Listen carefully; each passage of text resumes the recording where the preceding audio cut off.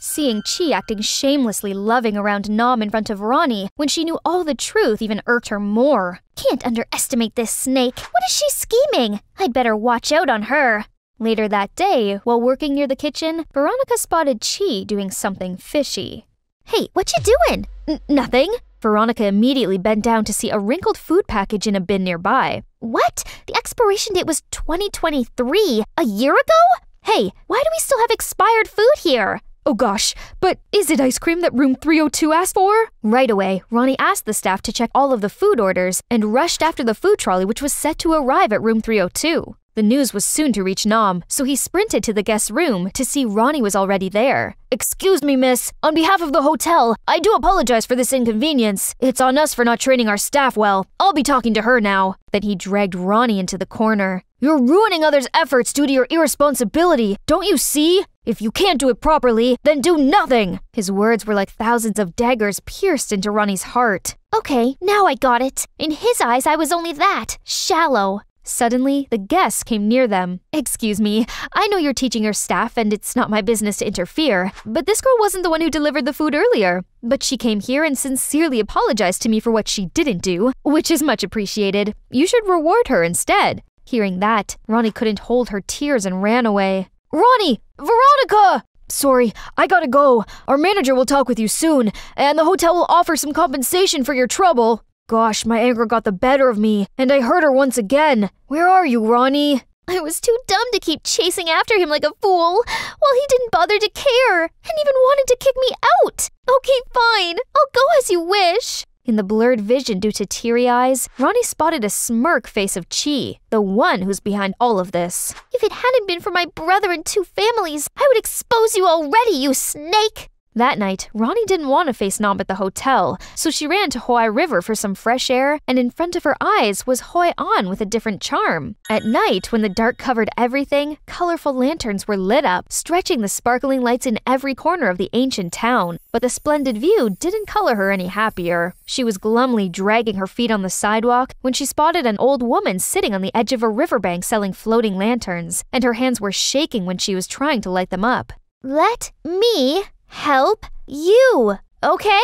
Then she sat down and helped her kindle the candles and deliver lanterns to buyers. Seeing their faces beaming with the flickering candle lights made Ronnie unconsciously smile. It's like everyone whistles their dreams in lanterns and has the river give wings to the wishes to fly high and far away. Ronnie was immersed in her own thoughts when she accidentally burned herself. Are you okay? What? Ronnie, listen. I came to apologize to you for the misunderstanding this afternoon. I should have listened to you first. Let me help you. Don't frown like that, or you're gonna be some wrinkled old woman soon. Hey, hello, Earth to Veronica. Alright, let me show you around. We only have tomorrow here before returning to Danang. You will regret it if you don't go. Come on, I beg you, okay? Veronica was still in a foul mood, but unknowingly stretched her hand. They said goodbye to the old lady and walked side by side along Hoi River, but no one said anything until, Are you gonna ignore me forever like that? You think I'm some annoying girl, don't you? Huh? Why you ask that? Um, no, maybe. Then why you had to hire a fake girlfriend just to avoid me? What? She knew it? But how? I, I, I'm sorry. It was the reason at first, but it turns out I was wrong about you. You have a good heart and don't deserve those things. Maybe it's too late, but I'm sorry again. I should have thought it through first. What makes you think of me like that? It's like years ago. You suddenly slammed a door in front of me without a word, and then now turned indifferent and hateful to me. Why, Nam?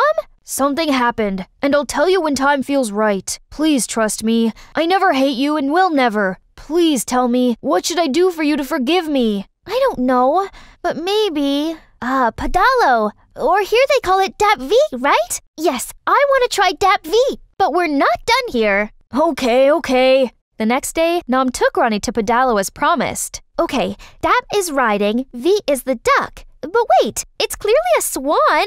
Why? Um, I don't know either. Vietnamese is complicated. Having tickets, two of them were waiting to be on boat, and Veronica couldn't hide her excitement. Okay, be careful! It's flippable! Poof! A kid! Then Ronnie excitedly jumped on the boat, causing it to sway from side to side, and it wobbled even more as she was being extremely panicked. Ah! I haven't watched Stranger Things season 5 yet. I can't die now. Nam, save me! I told you what? Now take my hand. Ronnie slowly held out her hand, then Nam gently pulled her in his arms and helped her sit down. Do you feel okay now? No, I'm not okay at all. Hey, aren't you saying you want to do pedalo? Here you go. Ah, that's right. Then they left the dock and started pedaling farther. Ronnie at first had some troubles in steering the boat, but with the help of Nam, she totally enjoyed this little game. It's just like riding a bike. Simple, isn't it? Yeah, it's kind of an exercise, right? Then exercise more. and with that, they even raced against each other enthusiastically and went to the middle of the lake without knowing. Hey, why suddenly stop? I feel my legs are gonna leave me soon. Then suddenly, rain started pouring down, and the boat started tottering. They looked around to find that the other boats had already returned to the dock, leaving theirs alone here. Oh my god, we had to pedal fast to the dock now! Hey, together! One, two, one, two. But the strong wind made the boat even more wobbly. Just wait here until the rain stops. What? I couldn't just wait here! Anyone? Help! Help! But Ronnie's attempt clearly turned in vain, as it only invited more people on the shore taking pictures and recording them. After a while, everything was quiet before Nam broke the silence. Do you still recall that day back in secondary school? We snuck outside to buy a new flavor of our favorite bubble tea. It was raining hard, just like today. you still remember that? Right, that day we were soaked like rats, just to be chased by a dog, and we ended up dropping bubble teas on the road, and even got scolded by teachers. then the two of them kept talking about the good old moments together, without noticing the rain had abated since when. Soon after, the safeguard appeared to help them return to the dock. About Ronnie and Nam, they might get wet, but more than that, they were soaked in the fresh emotions towards each other. Nam, let's call today Duck Day. And on this day, June 6th, every year, we're gonna do Pedalo again. Sounds fun!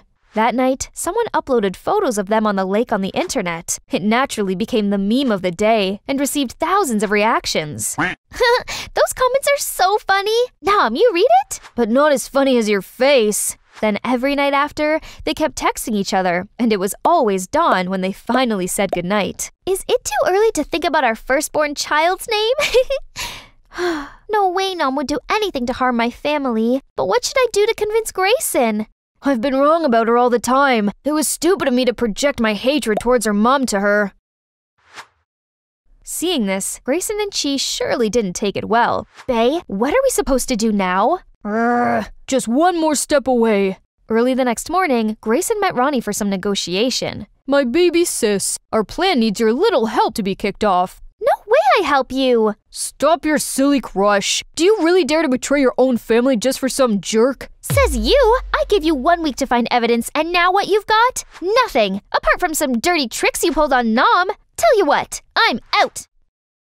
Grayson, what now? We don't need her. I have another plan. A few days later, Nam's hotel suddenly got back out at night, but it wasn't the only thing out of his expectation. Call technicals to check the grid now! Hey, you! You're boss here, right? Yes, ma'am. I apologize for the accident. It might just be some minor technical problems. Please come back to your room. The electricity will soon return. Patient? How could I be patient when your staff humiliated me? Wh- what, ma'am? Everything's turned pitch black, and I was trying to find some receptionist. Here you are. Why cut the electricity without notice, huh? Please bring me a fan or something. I'm sweating like crazy. You're sweating not for being hot, but for you being overweight, miss. You're saying what? Are you deaf? I'm saying because you're fat, miss. So this is the way you train your staff? Right then, more and more customers came to confront Nam. Hey, some staff snuck into my room saying to fix some wire plugs, but he stole my wallet away. Me too. My laptop was stolen when the lights were out as well. Hotel what? It's a scam, guys. Nam was trying to calm the guests down, but they seemed not to be in a mood for any explanations. Instead, they asked to return the room and demanded a payback. How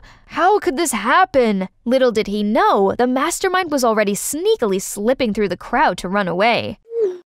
That's it. And now let's see how that jerk deals with this. Nam tried to track down the staff, but he was nowhere to be seen. The hotel was plunged into turmoil. Orders came in few, and the reputation was seriously in ruin. Ronnie couldn't bear seeing that. It's definitely Grayson who's behind all of this. He's my brother, but he's wrong this time. Even if it's true Nam wanted to harm our family, there's many other ways to confront this. And she meant it. She came straight to find Grayson. It's you, right? What are you talking about? Don't act innocent. It's you who set up the Nam's Hotel incident. Yes, it's me. So what? This little brat has no skills in running business anyway. I just helped him realize it sooner. You have to admit this and return the prestige to Nam's Hotel. Huh? Are you dreaming, my little sis? Oh no, my big bro. I'm sorry to tell you that actually, I've already recorded our conversation. If you have no guts to admit, then let your little sis do it. Hey, hey, I don't know anything about this. Don't drag me into this. Bye. W- why do you do this? I'm your brother. That's why I want you to understand we couldn't take revenge by revenge. Jesus, did that jerk cast a spell on you or what? Why now you still blindly trust him? It's him who made our resort stumble.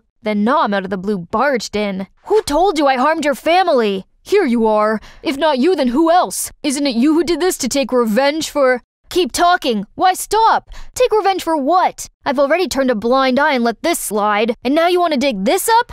Okay, fine. That's when Ronnie knew all the truth about her mom's scheming on taking Nam's family's resort for her own possession. That's also the reason why that day he coldly left her without a word. My mom? So my dad was also in on that? No, your dad is totally oblivious about that. Mr. Andrews was so kind to help us with a handsome sum to start again. He's been so nice to us, so I don't want to make a fuss. And you've known about this the whole time, but still talk about revenging? Don't you see our family is the one who should take the blame? Grayson, it's the karma we have to take. I'm so disappointed in you and Mom. Nam, I do apologize to you for all the troubles my family has caused you and your family. I will handle this ASAP. Then Veronica asked Grayson to publicly admit his scheme and apologize to Nam. This wasn't easy for Grayson, but I know deep down my brother isn't a bad person. Thanks to that, Nam's hotel resumed working smoothly as before. After that, Ronnie and her brother came back to the States and told the truth to their dad. What? You've been doing this behind my back the whole time? You know what? We're more brothers to each other. When I had nothing, it's him who helped to lift me up, and now you equate evil with good? Mrs. Andrews was perplexed, as this was the first time she saw her husband this mad. She admitted her wrongdoings, and a few days later suggested they come back to Vietnam to apologize to Nam's family. And of course, they couldn't believe in what they were just told. They kept silent for a while, then. To be honest, this news is totally strange to me. But it's all the past now. Let's end here once and for all. And after everything, the siblings finally found themselves on the same side in the matter. I was about to tell you before, but not until now do I have courage. But thank you, Ronnie. You might not believe it. If it hadn't been you and the recording, I might not have been able to awake from the nightmare of revenge and then admit my wrongdoings. I was foolish to let hatred and jealousy cloud my judgments and act silly. But thanks to Nam's big heart and your righteousness, I now learn my own lessons. And hey, he might be a good brother in law, sis. How could it happen when our families and me alone caused too many troubles to his family and him? Two years later, now Veronica's worked for her family business as Grayson's assistant. One day, when going back to home after a tiring working day, she got a message from a strange number. What's this? This is creepy. Anyways, today is June 6th, so what? Oh my, is it. Veronica hurriedly outside to see Nam already there, holding a big bouquet. Ready? Hmm, ready. Why you suddenly. Ah, oh, no. See, what takes you so long? Oh, pardon me, princess. It's hard to find a pedalo, uh, a true DAP V in the States.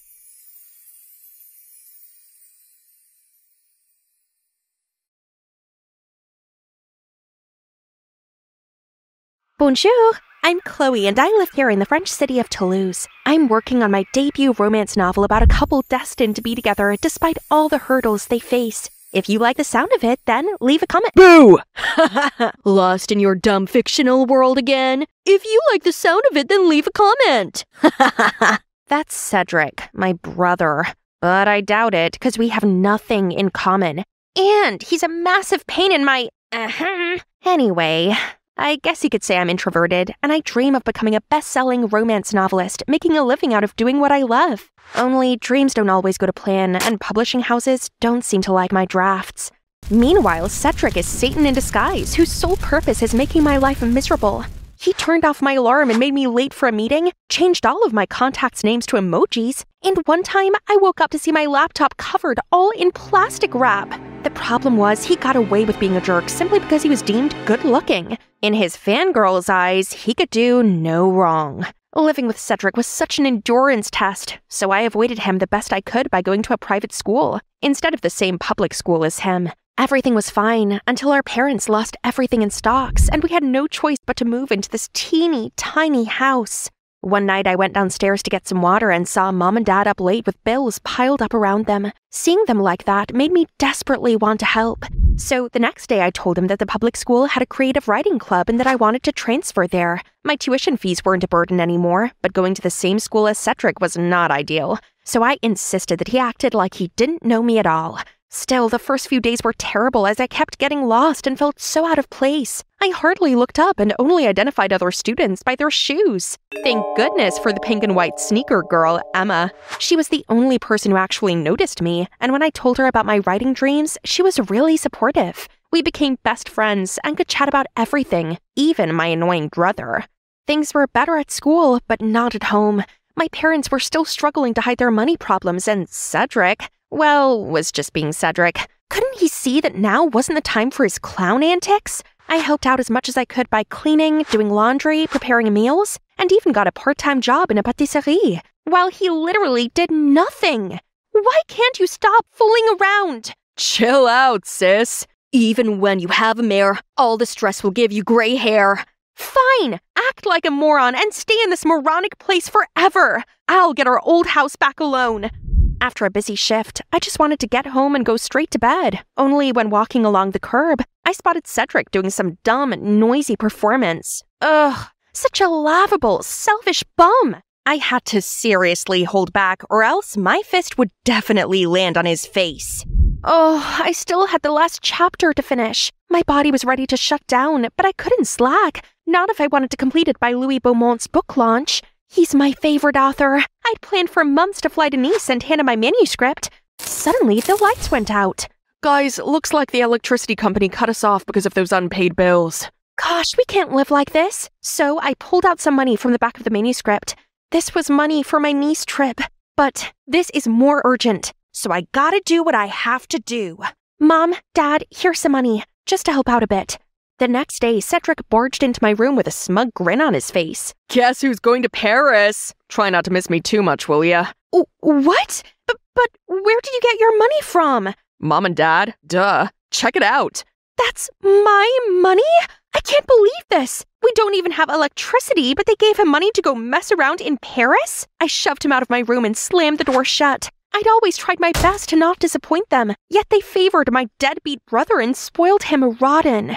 All this family stuff was eating me up, so on school day, I confided in Emma. Only when I tried talking to her, she seemed distracted and kept drifting with the music. Em, Em, are you listening? Oh, sorry, but this beat is straight up fire. Look, he's the winner of this contest. Isn't he amazing and talented? I looked at her phone and saw, what? Cedric? So he came to Paris for this stupid contest? Don't talk about him, okay? That's my selfish, uncaring brother I've always talked about. Be his fan, and we can't be friends anymore. Things got even worse when Cedric went home and literally made it rain with his reward money. Chloe, look at all of this money your brother won. Thanks to his talent, we can go back to our old house. Ugh, why is everything so easy for Cedric? He did some nonsense rap and became a celebrity. Meanwhile, it's me who had to give up my trip, my dream. At least we got the old house back, but day after day, these annoying reporters are driving me crazy. How did you come up with meaningful lyrics? Meaningful? Everyone knows rap isn't actually music. It's just some noise full of swearing and insults. Yeah, ignore her. She's just cranky from skipping breakfast.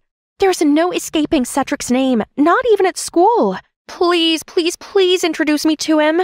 Why are you so obsessed with him? Don't you remember anything I said about how terrible he is? Come on, give his music a try. I can't believe someone who wrote such beautiful lyrics can be as bad as you say he is. Fine. If she wanted to meet him, then I'd grant her that wish. It's about time she saw his true face. I opened the door and showed Emma inside when suddenly we were covered in a cloud of confetti. Why the long face? My grand welcome was the bomb! Do you know how long it would take to clean this mess? Ugh, Em, this is my brother. An idiot. Idiot brother. Em. But then I turned around to see Emma already soaking up Cedric's every word. I can't take this anymore. My time would be better spent writing.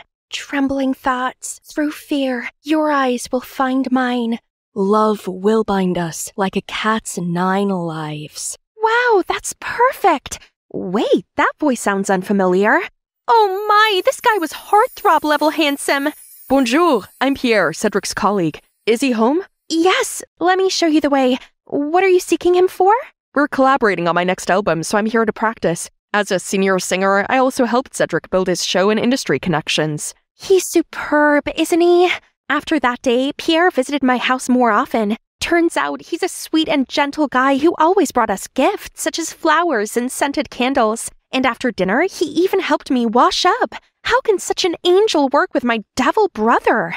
One day when I was out with Emma, suddenly she looped her arm around me and said, You sure seem chirper these days. It's probably because Cedric's often away on music shows. You're telling me it has nothing to do with Pierre? Come on, Chloe, it's written all over your face. Fine. He's really sweet, and his smile is as bright as the sun. How can I approach someone like him? Hmm, why not start with a love letter? I took Emma's advice and wrote the most romantic letter ever, then brought it to his company. If anyone asks, I'll say I'm here to see my brother. Huh?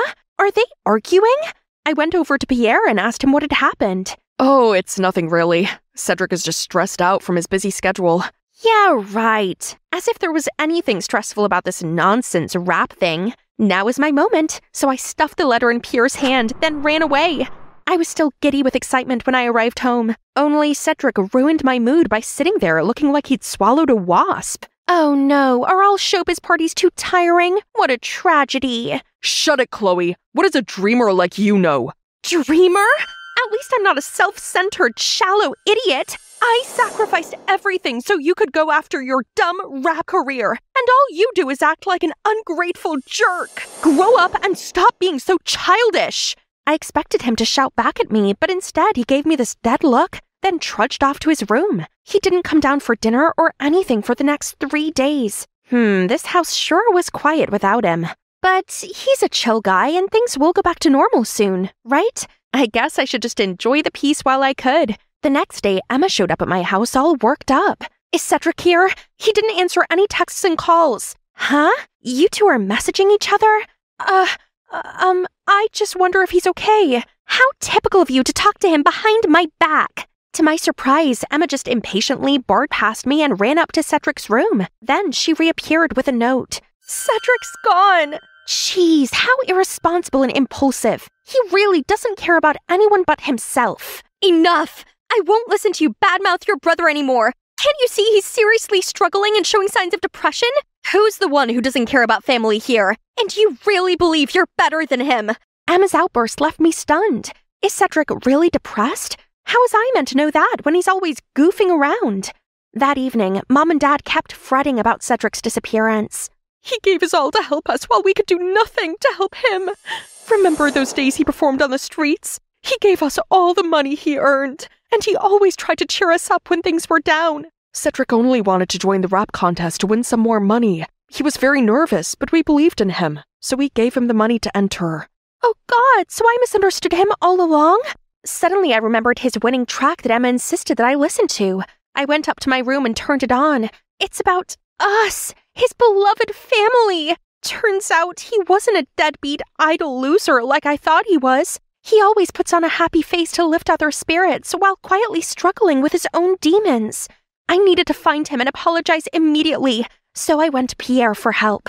I had no idea he was struggling so badly. I should have noticed that he was suffering and not overloaded him with work. But there's an important show coming. If Cedric was a no show, he'd be in breach of his contract and have to pay a huge sum in compensation. Oh no, that's not good. What should we do now? You know what? You look a lot like Cedric. How about you disguise as him? But how? Don't worry, our makeup team is top notch. Nobody's gonna know. This all sounded crazy, but it seemed like I had no other choice. My family couldn't be in debt again for this. Being this close to Pierre made my heart flutter. He took me for my makeover, then I learned to lip sync and perform on stage. I even tried to walk and talk like my brother. I felt bad about deceiving his fans, but I couldn't risk Cedric getting into big trouble. It's only a one time thing. Sometimes I lip sync too. It's no big deal.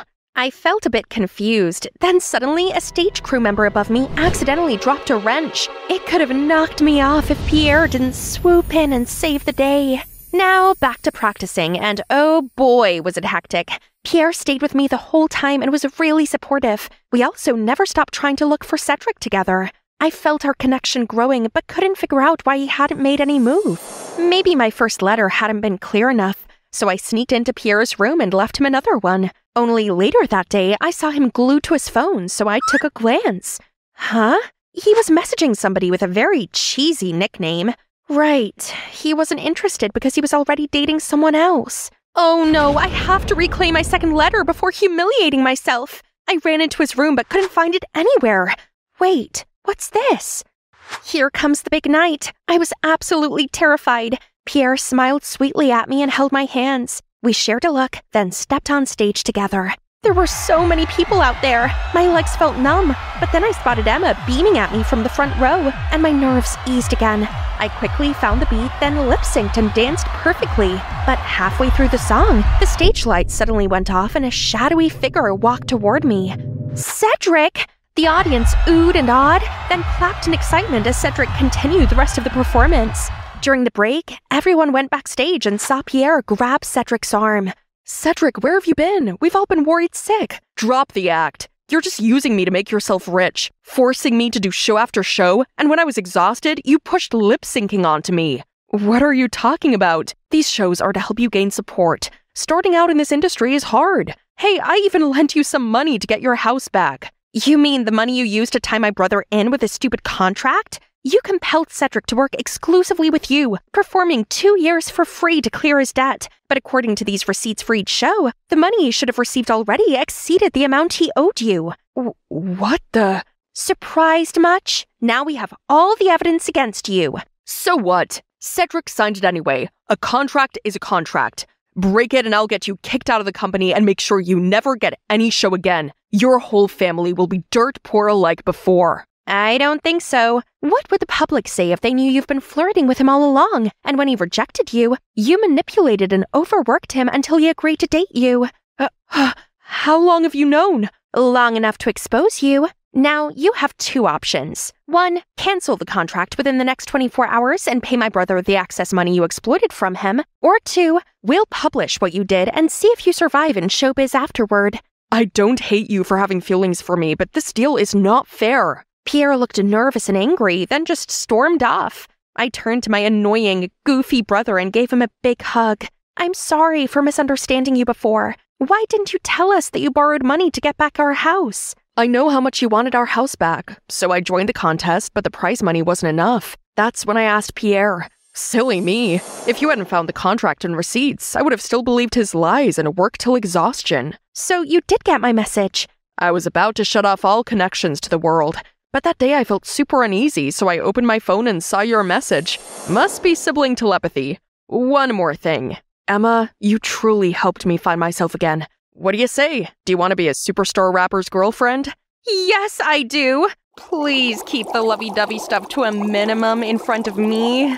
Luckily, I was spared when a stage crew called Cedric to go back on stage.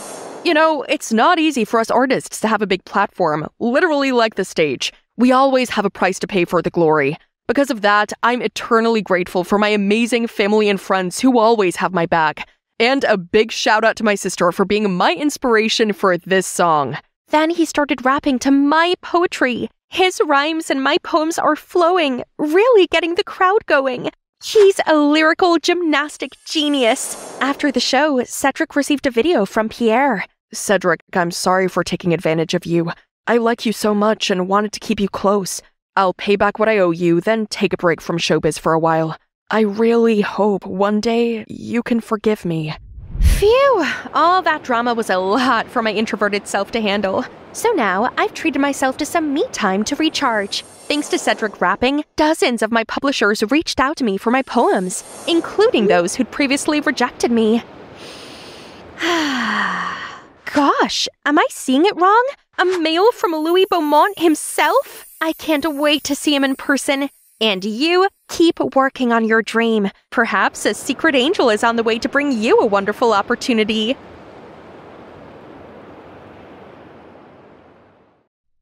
Hmm. I wonder what's taking Valerie so long.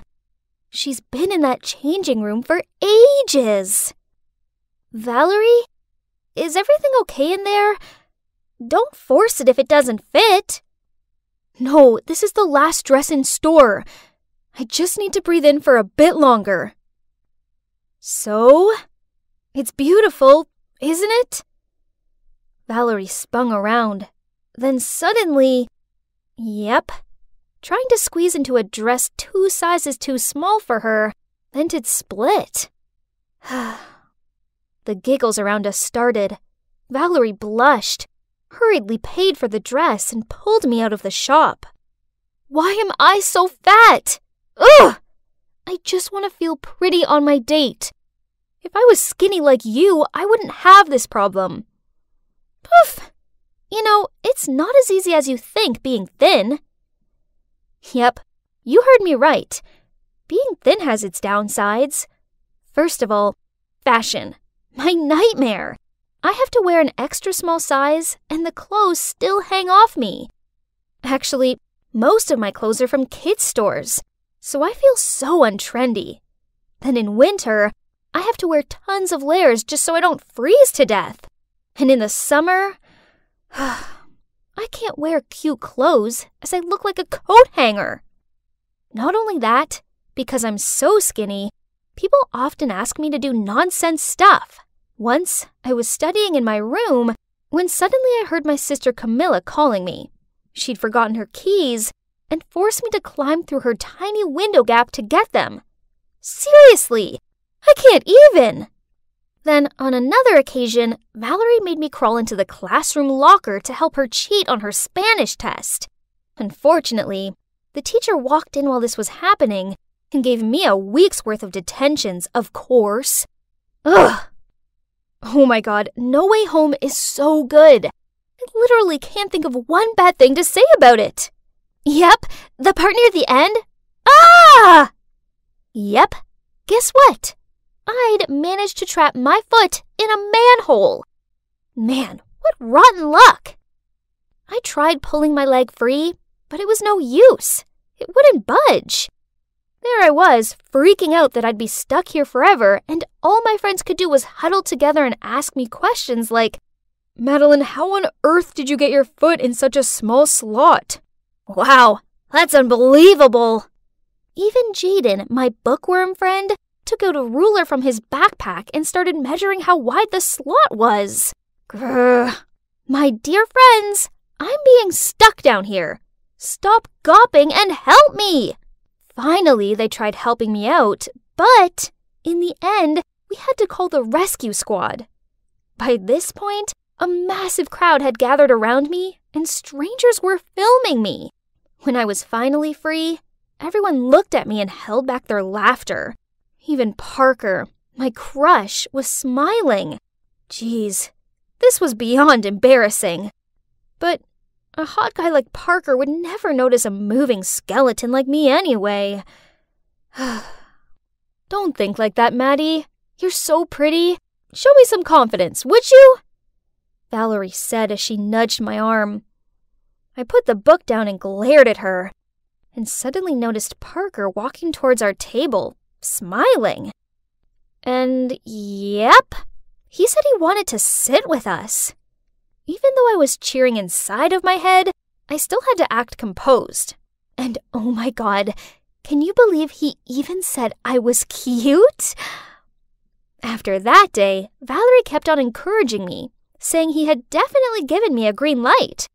So finally, I gathered my courage to write down all my feelings for Parker on a note and clipped it to his notebook. At the end of class that day, he came to my desk and took my hand. Yay! Everything was fine, great even. Until one day, when the two of us were taking a romantic walk past the Swan Lake, Parker suddenly turned to me and said, You're so beautiful, Maddie. And if you just put on a few more pounds, I swear you'll be the hottest girl at school. Yes, I know, but it's hard for me to gain weight. No big deal. Just leave it to me. I'll fatten you up. I thought Parker was just joking, but it turns out he was being deadly serious. Since that day, every time we went on a date, instead of taking me to the bowling alley and movies as usual, Parker would take me out to eat. I swear, I've tried all the restaurants in our town. More surprisingly, on my birthday, Parker even gave me a bouquet of fried chicken. How romantic! But this didn't change anything, as my weight still stayed the same. Parker was disappointed when he peered over me and saw the scales hadn't budged. Then he sighed out. How come you and Valerie are friends, but look totally opposite? Here comes our adorable chubby Valerie. What? Parker called Valerie adorable again. This wasn't the first time either. Annoyed, I put down my fork and walked away from them. After that, I started avoiding Valerie. I did homework with other friends, sat with other girls at lunch, and every time I happened to see Valerie, I turned around and walked away. Honestly, I didn't want it to be this way, but just seeing her made me uncomfortable. But I couldn't bear to see my boyfriend call my BFF cute, while he thought I was too skinny. then summer break finally rolled around. I thought it'd be just me and Parker, but then he went off to a summer camp in Spain. the plan was all ruined. So I spent a whole sunny day inside sulking. What's wrong? Are you bored because your lover is away? So why don't you take this time to surprise him when he returns? Surprise? A great idea popped into my head. But, but how do I get chubby? Easy peasy. Okay, if it's that easy, then show me. Okay, if you do my summer homework for me. What? She's such an opportunist but I really wanted to pile on the pounds and please Parker. So, without hesitation, I nodded in agreement. So, from that day on, I started following Camilla's weight gain plan. I switched veggies for greasy foods, and my main meal was always late at night. I also changed water for milkshakes, but I did have to stop drinking them when the smell of milk alone made me feel sick. Seeing me eating crazy like that, my parents worriedly said, Madeline, eating healthily is important, else your health will be affected. But I ignored their advice. This time I definitely had to gain weight. Finally, after a month of trying, I gained some weight. Yay! I looked a lot more attractive now, didn't I?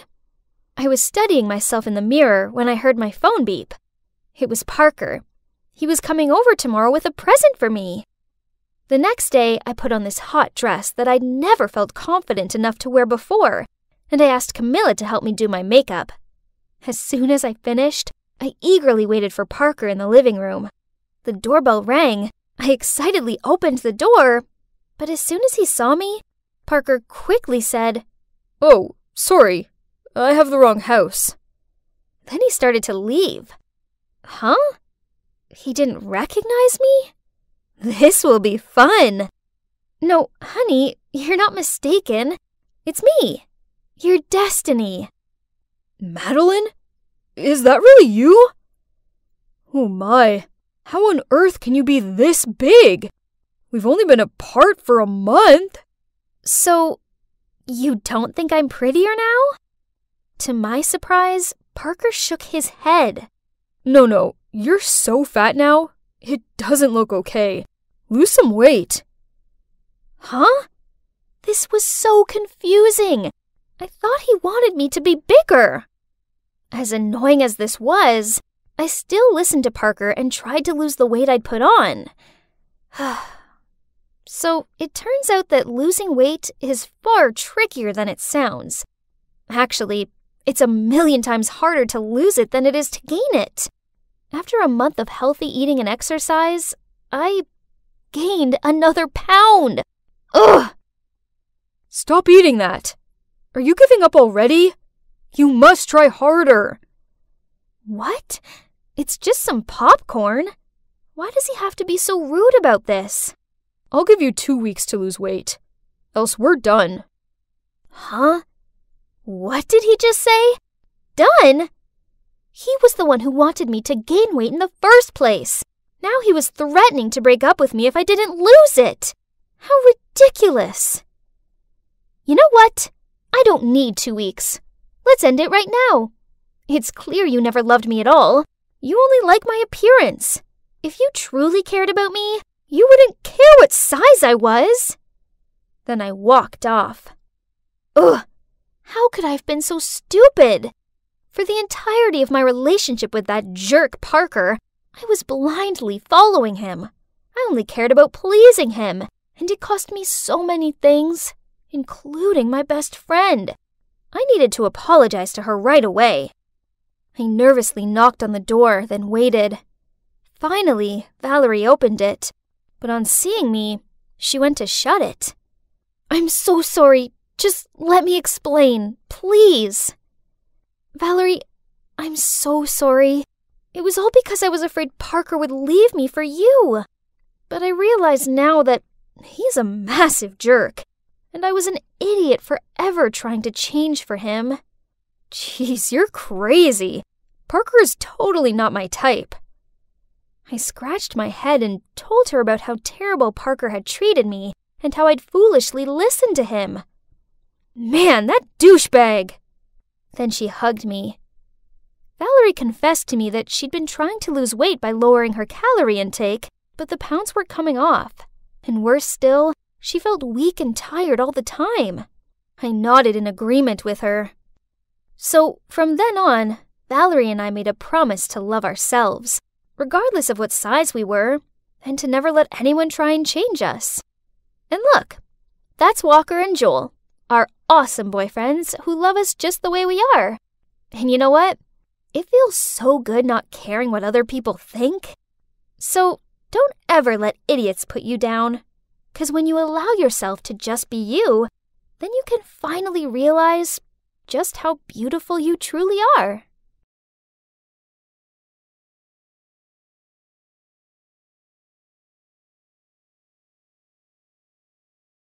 Finally, back in my natural habitat. Now these city kids could see what I'm capable of. Behold, my big, beautiful flame. They were in awe of my skill. When suddenly, the fun was put to an end by some overreacting teachers. They started yelling at me, saying there's a rule against fire. Ugh, how could you call this a campsite if campfire is not even allowed? Fire making is an essential survival skill, y'all. These boring city people don't know a thing. Who needs all their rules anyway? I know I don't. Hi, I'm Nova, the fire hazard. And I didn't always live in the city. I spent the first 14 years of my life on the road. Our family used to travel the country in our RV. We never stayed any place more than a couple of months. We foraged for food and slept under the stars. But my world was flipped upside down when my parents decided to divorce. My mom wanted to settle down, and my dad would continue life on the road. I begged to go with dad, but mom had custody of me. I'd love to stay with you, my little birdie, but I have to go. No cage can hold me for too long. At that moment, I promised myself I would break free and spread my wings too. My mom and I then settled into a small two bedroom apartment in Savannah, Georgia, where we were greeted by our neighbors Brenda Foster, a middle school teacher, and her son, Scott, who I'd soon be attending school with. Mrs. Foster was really friendly, but from the moment I met Scott, I knew we wouldn't get along. City people were always grumpy and glued to their cell phones. Mom had to work two jobs just to make ends meet accountant by day, Burger King employee by night. Her colorful wardrobe was replaced with dull uniforms, and all we ate now was fast food. I still kept a sheer hope that one day, when mom makes enough money, we will hit the road again soon, but no, this is going to be our forever home. Things might be hard for you at first, but trust me, it'll be good for you in the long run. That sounds like she wants my life to be this boring and stuffy for all eternity. Then came school. There were tons of rules, and every moment of our day was scheduled. In just one morning, I got in trouble for going to the bathroom and for eating my lunch. And on top of that, every teacher complained about my penmanship and spelling. But things were worse when I was among other kids. I could hear their whispers everywhere I went. One girl even came up to me and asked why I wore weird hippie clothes. My clothes aren't weird, you are. Even when some of them invited me to sit with them at lunch, I felt like an outsider. Anyone down for some pink drinks after school? Not me. I'm saving up for the Eras tour. Count me in.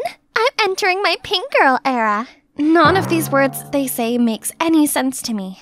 Finally, they asked about my old life. Well, we didn't have to eat this junk. We can get fresh vegetables by the road. And I know how to skin roadkills. And every day we tried many different fruits and fungi, but be careful, a simple mushroom could kill you. But by that point, I noticed they were either speechless or as pale as a ghost. Did I say something wrong? Every school day was a blur of confusing subjects, but today was my first music lesson, and I was so excited to finally do something I was good at. When the music teacher, Mr. Shapiro, asked if anyone wanted to perform for the class, I sprung up from my seat, ready to go. I confidently sang my favorite song, but halfway through, Mr. Shapiro interrupted me. We're learning classical music. That style is called reggae, which we don't teach here. Nova's a hippy dippy weirdo. The whole class erupted into laughter. What did I do? Ugh, Scott! I was so gonna give him a taste of my rosewood guitar, but everyone held me back. In the end, Mr. Shapiro said he'd be talking with our moms after school. Scott and his mom had already left before my mom came. Mrs. Shapiro told her that I was a violent hothead who always dressed inappropriately. I waited for my mom to defend me, but she simply apologized. I'll talk to her about this later. Please excuse her behavior. She has never been to school before. Who was this woman and what had she done to my mother? Later, I told my mom how terrible school was the constant staring and teasing, the way that everyone seemed to be a little afraid of me. Contrary to my expectations, she told me I should try harder to blend in, and she even had bought me normal clothes for school. Mom, clothes are my self expression. I'm not changing just to fit in. What happened to you? Didn't you teach me to be myself? I did, but now I need you to blend in so you can make friends. I. I had to leave before bursting into tears. I couldn't stay in the stuffy apartment any longer, so I went out the window, climbed down the fire escape, and just ran away. But at one point, I realized I didn't know where to go, so I wandered around until I bumped into the Fosters, who insisted on walking me back home. Strangely, Scott seemed less annoying now, and kept looking awkwardly at me the whole way home. My mom was clearly surprised to see me when she opened the door. I felt like a joke, because she hasn't even noticed my rebellious great escape. I couldn't sleep that night. After thinking it over, I came to the conclusion that I could get my old life back if I found my dad. If only I knew how. The next morning at school, I went looking for the tools I needed to find my dad compass, flashlight, map. Scott? What are you up to in there? You first. I wanted to apologize for what happened in music class yesterday. Your turn.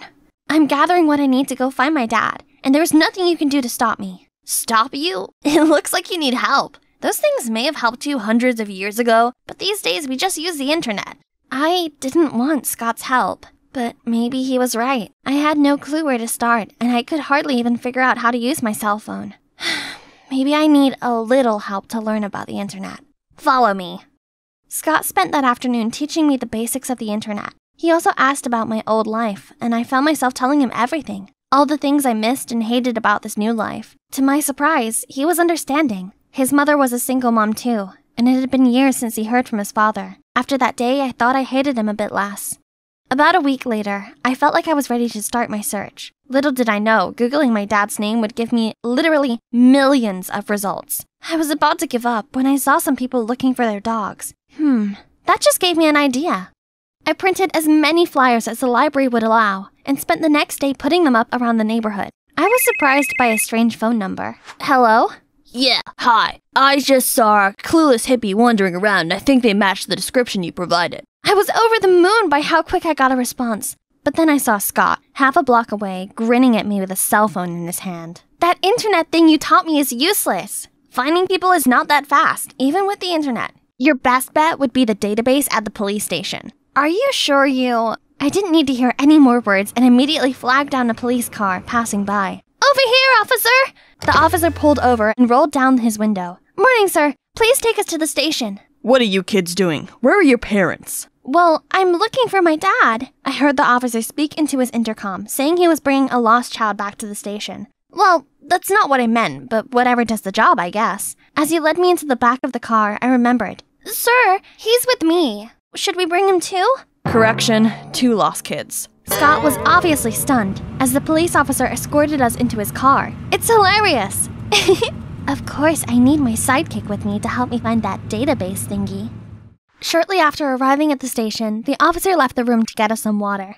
As soon as the door closed behind him, I sprung into action. I had to look in every corner, but Scott wasn't helping. Come help me. Where could that database thingy be in this room? What? No, dummy, it's in here. Then he jumped to the computer and did some clicking. Type your dad's name here. Keep an eye out. In an instant, a file with my dad's info came up. I printed it out and sprinted home before the ink could dry. My heart was pounding as I dialed my dad's number. Hey yo! Dad, it's so good to hear your voice. Uh, who is this? It's me, Dad! Complete silence on the other end. Did I call the wrong number? It's me? Nova? Nova! Glad to hear from you. Guess what, kid? I've been up to all kinds of adventures. Then he talked to me about his amazing trips that I would have loved to be on. Then I asked where he was so I could go find him. I live in the moment, my little birdie. I go where the road takes me. Please, Dad, let me tag along. Okay, meet me at the exit of the interstate at 10 p.m. tomorrow. He ended the call before I could say anything else. I felt the sudden urge to cry for some reason. They must be happy tears. I was finally seeing my dad again. But how could I get there? Maybe my sidekick Scott could help me. If he had made it back from the police station. Oopsies! I ran to Scott's apartment, and to my surprise, he answered the door. Hey, how did you get home? Once I explained to the officer that you were just a little eccentric, he let me go. I'm sorry I left you there. I wasn't really thinking. Oh, I spoke to my dad, and he's picking me up tomorrow night. So I need your help to get to the highway. The highway? What kind of parent asks his 14 year old to meet him at the highway at night? Did he even ask you how you were doing? Or your mom? He clearly doesn't care at all. Wait, yeah, he really didn't ask. But Dad probably was just busy. We can talk all about it tomorrow when we meet anyway. How dare Scott think ill of him? What do you know about my dad? He's a free spirit, and I should be traveling with him. Life's all about being spontaneous. My mom doesn't even understand it anymore, so I don't expect you to. But if you don't want to help me, fine. I'll figure it out myself. Then I stormed off. The night after, I was struggling with Google Maps. My phone was suddenly snatched out of my hand. I'll take you there. You might get lost if you go alone. I was still a little upset about yesterday, but that was nice of him. Plus, Scott was right. I would get lost on my own. We arrived early and waited. The hours dragged by, so I called Dad several times but no answer. When I saw it was past 11 p.m., my call finally came through. Oh man, you were there now? Our bus passed Savannah a while ago. we're having a grand party. You should see.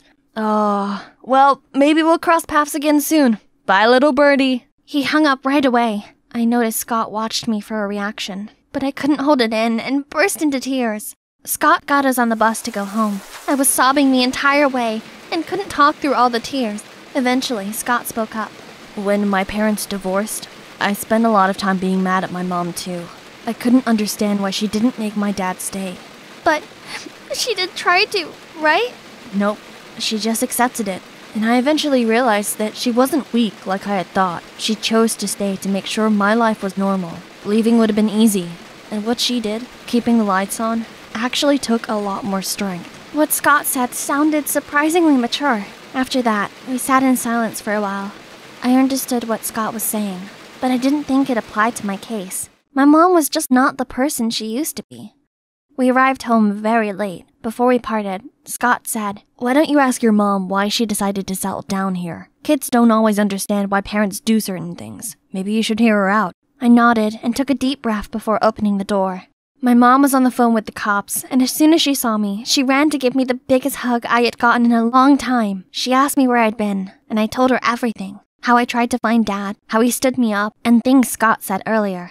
She listened to me attentively, then said what Dad did was terrible, but not exactly out of character. You know how we stopped by a town from time to time? Working temporary jobs like waiting tables and washing cars, right? What you didn't know is that your father always messed up and got fired a few days after he started, so he decided that he'd look after you while I worked. I didn't realize how hard Mom had always been working while me and Dad were just carelessly having fun. Then I asked why she chose that life in the first place. When I met him, I was working a 9 to 5 job that I hated, while your dad was all about the world is a book, traveling makes you a storyteller. Of course, that sounded fascinating, so I quit my job and set myself free on the RV we bought. But why did you decide to settle down after all these years? After having you, I realized our wandering life wasn't a good environment for a kid. I was worried you'd have a hard time once you got older, especially because your dad wasn't being helpful and was only being a bad example for you. Besides, homeschooling is difficult. We aren't teachers. You deserve to grow up in a stable home, have friends your age, and create deep connections with them. I got you two, and and people we met from all over the country. That's not enough, honey. I thought I should give you a normal life while you're still young. You'll be better prepared to make your own decisions later as an adult. It was unfair to you. Because you didn't choose that life. We did. The resentment I had towards my mom melted away. In its place was a profound gratitude for all that she sacrificed. I wasn't good with words, so I told her that the best way I could. Do you miss our old life? Well, yes, but for now, you're my number one priority. After the hurt's gone, it was time to heal. I tried to focus on my lessons and learn the rules. My mom even helped me pick out clothes that were more appropriate for school, but still felt like me. I tried my best to enjoy the same movies as other kids and learned to play their favorite songs on my guitar. Soon enough, they became my new friends. I continued to grow even closer to Scott, my friend and partner in crime, from the start. Still, my mom and I agreed that we shouldn't totally abandon our love for travel, and she promised that we would plan a few big road trips every year, starting this summer. I can hardly wait for our trip to Niagara Falls with Mrs. Foster and Scott. I walked into school, with whispers following me, but is it just me, or did the crowd seem even more chatty today? I nervously walked up to my locker and. Oh my god! Splattered across it was the stamp Teenage Karen in spray paint! I shivered from embarrassment. Surrounded by giggles and gawping faces, I ran straight into the bathroom and shut myself in a cubicle to calm down. You might be wondering, how did I get here? I don't sound like those unreasonable, cocky people that usually grow into Karens, right? Because I'm not one of them. However, I realize how my actions could have caused this situation. I was adopted into one of those wealthy families who pressured their children to grow successful and flawless. As a result, I have never got any lower grade than an A or lost a competition. I was that perfect child that was too scared to fail. Because nobody had ever taught her how failures work. But then one day, everything changed. One casual school day, I walked into the literature class and saw an unknown boy already occupying my desk. All the girls were giving him dreamy looks. Hey! I tapped on his shoulder. Is this your seat? Yes. Oh, sorry, I didn't know. He then moved to another desk. I forced a polite smile and took my seat. Then our literature teacher announced that we would have a little test today, not affecting our grades. Being the teacher's pet around here, I could tell this was because she wanted to test Austin, that new boy.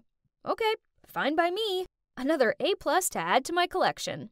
But only, I somehow couldn't concentrate. I looked out of the window, trying to find some writing inspiration, but that new guy was blocking my view. Okay, to be fair, he looks pretty cute. Without realizing it, I started staring at him. Then suddenly he turned to me. We made eye contact, which startled me. Oh gosh, wake up, Catherine! You have a test to finish! I tried to focus on my essay again, but I kept having this feeling of him looking at me. Jesus, I hope he didn't get the wrong idea. I'm not like those girls who only go to school to check out cute boys. Time's up! I nervously turned in my paper, as I knew I was distracted and didn't deliver my best. But never mind, nobody could beat me, even on my worst days. Well, not this time. The following day, the teacher handed me back my work and whispered, I don't know what happened, but it's okay. Don't worry. Huh? I quickly took the paper and B minus? Okay, I knew I couldn't get an A plus with this one, but not even a normal A? I've never had a B before! The disappointed faces of my parents popped up in my mind. What if they wouldn't want me anymore? They adopted me, gave me this luxurious, perfect life, and this is how I thanked them? I started to panic and looked around to find the teacher.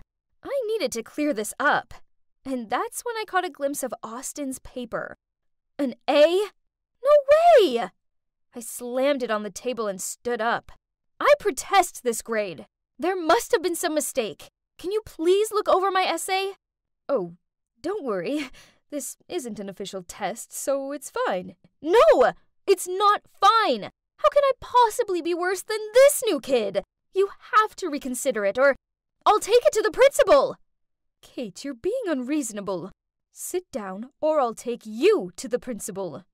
I took a deep breath and calmed myself while sitting down.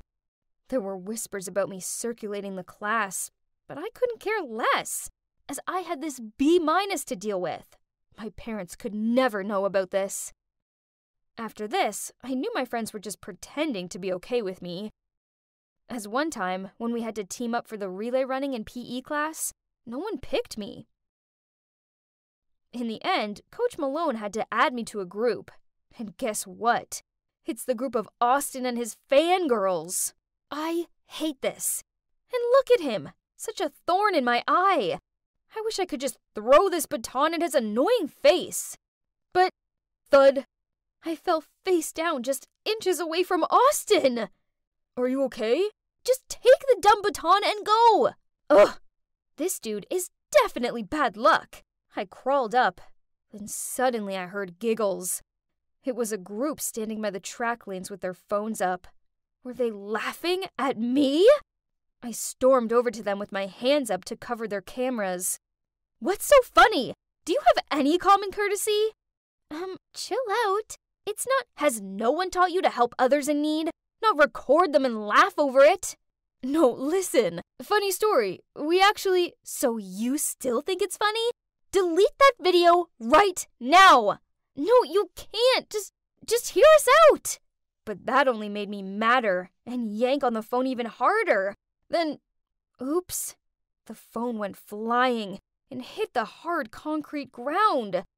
Oh no, I didn't mean to. The boy whose phone it was freaked out and ran over to pick it up. Look what you've done! Who would ever want to film you? We were just making a performance video for the cheerleading team. Through the cracked screen of his phone, I saw a video of the cheerleaders practicing on the field on the other side of the track lanes. Oh no, this was so embarrassing! I quickly asked for the guy's contact and promised I'll make up for his broken phone, then ran back to my class. I felt exhausted. It's like the whole world was against me. But at least there was always one thing that could ease my soul. Yes, it's my books. That's why, whenever I feel drained, I'd go to the school library to relax. So, like every other time, I made my way there, but I think I'd forgotten my library card. Oh well, no big deal, as the librarian, Mrs. Flenderson, is basically family to me at this rate. She doesn't even ask for my card anymore. Hi, Mrs. Flenderson, I said as I passed by the librarian's desk. But then I was taken aback by some unfamiliar voice. Um, where are you going? Card, please? It turned out Mrs. Flenderson was out of the office, and there's this freshman who volunteered to fill in.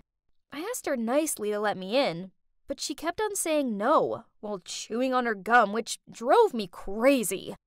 Ugh. Listen, do you know who I am? I don't need some dumb card to get in here. Yeah, yeah, but not on my watch. Look, half of these books are from my family's donation. You should be showing some more respect, kiddo. Your snobby opinions won't work with me. Here, we attend the same school, so we're all equal and rules are rules. Let me speak to your supervisor. Call Mrs. Flenderson. You're such a Karen. I froze upon hearing that word. That was the first time I'd been called by that nickname. And only then I realized how much of a fuss I'd been making here. But it's just that I was already in such a terrible mood. All I wanted was to just go to my safe place, and that too was impossible now. I then quickly composed myself and walked away. But to my dismay, some passerby had been watching me throw a tantrum since God knows when. And yep, Austin was there too. Why would I be surprised anymore? My stories at the running track, also at the library, soon spread around the school like wildfire. People didn't try to hide the fact that they were avoiding me anymore and started calling me Karen. So, obviously, this one time when we had to pair up in literature class for the midterm essay, I was left alone again. At least, that's what I thought, until Austin leaned over and asked me to be his partner. Though I hated his guts, I cannot fail this test, so yeah, I've agreed. We met up later that day at his house. I was enthusiastically showing him some of the book options for our essays topic, but he was totally unbothered, scrolling through his phone. Yeah, yeah, whichever you like. He'll be taking care of all this anyway. What do you mean? Look, I only paired up with you because you're so good at this. So please just do your thing. Whatever. I don't care. I hate these. You don't like literature? But last time you scored an A. Oh, that? Don't be too bitter, as I just copied your work and changed it around a bit. So technically it's your A too. Yay! Congrats! What? So all of the stress I had to bear these past few weeks turned out was just because he cheated? Ugh! I was so angry! Feeling on emotional overload, I burst out crying which got Austin flustered. Hey, what's wrong? Calm down. Don't cry. I'm sorry. Please stop crying. Then, through tears, I started telling him about all the pressure I have to bear from my parents' expectations, and about all the Karen mishaps I've gotten caught up with lately at school. At one point, Austin apologized to me, as he realized this all originated from the act of him copying my essay. That night, we didn't get anything done for the essay, but we just sat down and talked. After such an oversharing session, Austin and I naturally got closer to each other. In fact, he became the only friend I had at school. It's nice to have a friend again, but it's still hard when your reputation at school was totally ruined and everyone knew you as teenage Karen. Especially when I had a big speech contest coming up. I hadn't been in the right mind to study, so I barely had anything prepared for the competition. I kept imagining my parents' disappointed faces when I didn't win first place. The night before the contest, I was so stressed out that I had to pour it all out into my diary in hope that I would feel lighter and ready for the big day. Then suddenly my phone rang. It was Austin. Hey. Good luck tomorrow, Kate. See you there. Thanks. I don't know anymore. Are you still stressed over it? If you're this worn out because of it, then I know a cure. What is it? Just quit. It's just some contest, and you don't have to come first in everything. We're all just human after all. You're crazy. okay, I'll get some sleep now. See you tomorrow. But my mind was too cluttered with thoughts and worries to sleep. The next morning, I arrived in front of the competition venue, but hesitated to go inside. Then suddenly, I found myself running away from that building while phoning Austin. Meet me at the park, West Gate. Ten minutes later, he arrived in his car. I hopped in the front seat, then said, Let's go to the theme park. I want to have fun. Austin looked at me, stunned, but then he smiled and drove off without a question. Yep, just like that. I dropped out of the contest and turned off my phone to just enjoy a day being a teenager. I went on all the scariest roller coaster rides, screaming my heart out, leaving all my worries behind. By dusk, I was 100% ready for my parents' tantrum. They probably would disown me now, but I felt strangely calm. As Austin drove up to my house, I could see my mom pacing back and forth in the front yard. There she was, already waiting to punish me. Upon seeing me, Mom ran straight over and gave me a hug. Oh my god, honey! Where have you been all day? We've been worried sick about you. Wait, what's going on? Why isn't she angry? Then Dad also ran over to us as soon as he spotted me, holding something in his hand. Sweetie, I'm so sorry for not knowing how much you've been through. We didn't realize our high expectations were putting so much pressure on you. We might have been too strict on you, but I want you to know that we'll always love you, no matter what. Oh, Dad was holding my diary. So, they know everything now. I cried tears of relief. It was so good to know they finally understood my feelings, and they even swore to change and try to listen to me more. That day, I realized that my parents loved me unconditionally, and whatever happened in my life, they would never give me up. What's up, teenage Karen? Um, yeah, my friends still call me Karen. But it's okay, as they only call me it in a jokey way. Nothing mean or anything. I'm over everything that happened, and so is everyone else. It's all just memories now, but thanks to that Karen phase, I was reminded not to be so strict on myself, so I don't end up being a Karen to my own self again.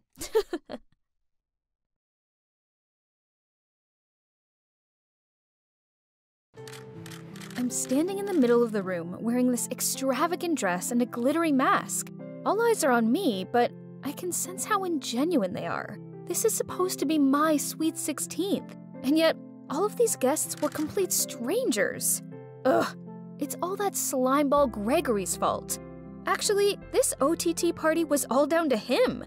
Oh, hi, I'm Vivian, but my friends call me Viv. My mom, Jacqueline Mars, is one of the wealthiest people on Earth. So I grew up thinking massive mansions, gigantic pools, and a floor entirely for toys was the norm. Well, at least I did until I turned 10. That day I was playing in my life size dollhouse when I heard talking coming from the other side of the fence. I peeked over it and saw a woman and a girl around my age who looked kinda weird. Curious, I spoke up. Hey, you, why do you dress so funny? Pardon? What did you say? You don't even have shoes on. That's so silly.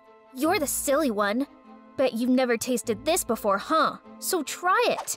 Spoiled rich kids like you always look down on others. While in fact, you're no use to society. I just stood there dumbfounded as the security shooed them away. I never meant to offend her. I I was just curious. So I rushed inside the house to find Mom and ask her about this. Oh, honey, not anyone can be as wealthy as we are. That means you don't have to worry about a thing, sweet pea. Now go play so Mummy can work, okay? Even to this day, Mom's words still linger in my ears. I've grown to resent my family's wealth. I just wanted to be a normal kid. That's why, by the time I got to middle school, I convinced Mom to let me transfer from my private school to a public one and wipe out everything about me online, so no one would know about my influential family. I get the bus to school, buy clothes from thrift shops, and prepare my own lunch instead of bringing the gourmet dish the chefs make for me. A perfect normal life. Until Gregory, Mom's so called boyfriend, showed up. He sticks his big nose in everything. Thanks to him, Mom wouldn't stop nagging at me about my clothing, my trashy public school, or how I gotta stop hanging out with the mediocre kids. Ugh, he is driving me insane. And to top it off, he gave Mom the idea of throwing me a 16th birthday party. I hate attention. Mom knows this. But what Gregory wants, Gregory gets. This could be an opportunity to introduce her to society and gain new associates. It'd be good for her when she takes over business in the future. Blah, blah, blah. Poof. Please. The only thing that man cares about is himself and his associates, not mine. In the end, I agreed to a masquerade ball, on one condition. Mom has to stop interfering with who I should or shouldn't hang out with, especially my friends at school. And that brings us to the present. Right when the host announces that it's time for my first dance? Huh? My what now? Ugh. Gregory! I was confusedly looking around to find a partner when suddenly a hand grabbed me. Birthday girl, come dance with me. Ugh, what a creep. Let go! Can somebody help me with this? Suddenly, a boy around my age appeared. Oh my. He has the most beautiful gray eyes I've ever seen. Excuse me, sir. I believe the lady has agreed to have her first dance with me. Thank you, handsome stranger. As we danced, I couldn't help but stare dreamily into those gorgeous eyes of his. We were about to leave the dance floor when he whispered in my ear, Wait here. I'll be right back. Who would have thought a superficial party like this would lead me to my perfect guy?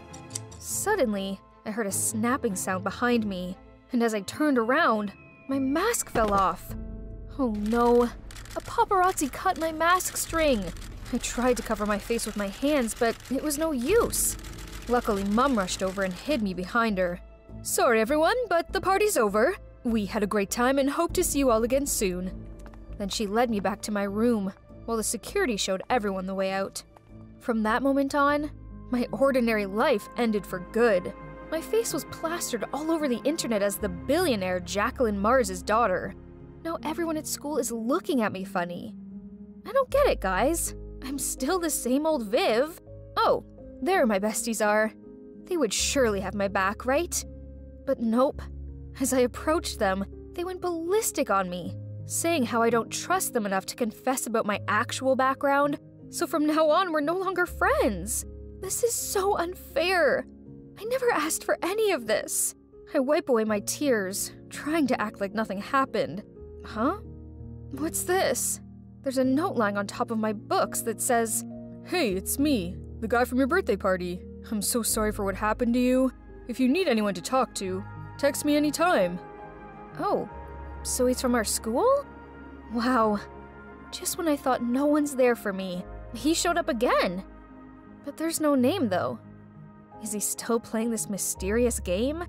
Okay, I'll just call him my masked knight then. From that day on, we texted nonstop. He just gets me. My family situation, my friends, everything. One time, he even secretly slid a Blackpink concert ticket in my bag, since I once told him that I was their diehard fan.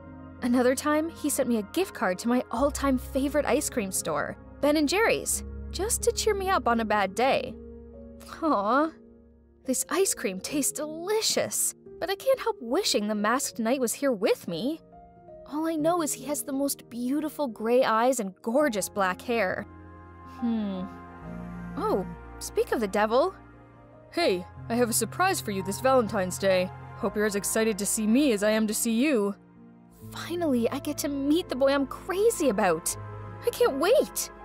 On Valentine's Day, I was in English staring out of the window and thinking about my masked knight. I wonder what he looks like. Ladies, I've brought your Valentine's roses. Here you go, Viv. This is it. It's gotta be from him. Happy Valentine's Day. Have a taste of the rose, then come meet me at the pool. X. I quickly unwrapped the candy, popped it into my mouth, then rushed to meet my dream man. Well, where was he? As I tried calling him, the room started to spin. I saw the outline of a blurred black figure, then. Ugh. My head is killing me. Where am I? And whose hand am I holding? Hold on. Those eyes. He must be. Thank goodness you're awake. Uh, are you the one who danced with you at your birthday party? In the flesh. I'm Jeremiah, by the way. I had higher hopes for our first face to face meeting, but oh well. Turns out, he always knew I went to the same school as him, but he was a bit intimidated by my family's influence, so he decided to get to know me via text first. He said the cops had found some sort of sleep inducing substance in my rose candy. Before I could quiz him anymore on this, Mom barged into the room and hugged me. After making sure I was okay, she turned to Jeremiah and said, You saved my daughter. For that, I can never thank you enough. Please join us for dinner tomorrow night. Jeremiah seemed hesitant at first, but then he nodded in agreement. Hmm. The dinner did not go as planned. Between Mum's blatant interrogating and Gregory's menacing looks, I could sense Jeremiah's discomfort. Then, when Jeremiah asked where the restroom was, Gregory insisted on showing him. When Jeremiah returned, he seemed flustered and made his excuses to leave. Grr. What had that annoying Gregory said to him? I quickly followed Jeremiah and apologized, but he just smiled and offered to pick me up for school tomorrow. The cops haven't found the culprit yet, so from now on, I'll be your guardian. How sweet. After that, I hung out with him every day. Great, right? Only somehow it didn't feel the same as when we were texting. Back then, we had a deep connection. Now it was just like two friends hanging out. Oh, and not to mention Olivia. Jer's childhood friend who can't seem to leave him alone for more than two seconds. One time, Jer and I were at the movies together, but guess who coincidentally appeared and plonked herself down next to him? Yep, Olivia. Worse still, with their giggling and popcorn sharing, I felt like the third wheel. I was not having this again, so I just left for home in this random cab parked outside the theater. But bad luck. The driver doesn't know the way. He doesn't even have a phone, and I had to lend him mine for GPS. The guy snatched it out of my hand immediately. Rude! But wait, it was 9 p.m. already. Why did he still have shades on? And even wore a mask? Right then, I realized the car had passed the town's border. Stop! The car suddenly filled with smoke, and the last thing I thought was, he has eyes that were exactly like Jer's. I woke up finding myself in this old, cobwebby room. Where is this place? And that driver guy? I have to get out of here now. Ah. right at that moment, he came into the room with a smile. Don't you recognize me? Will you have another dance with me?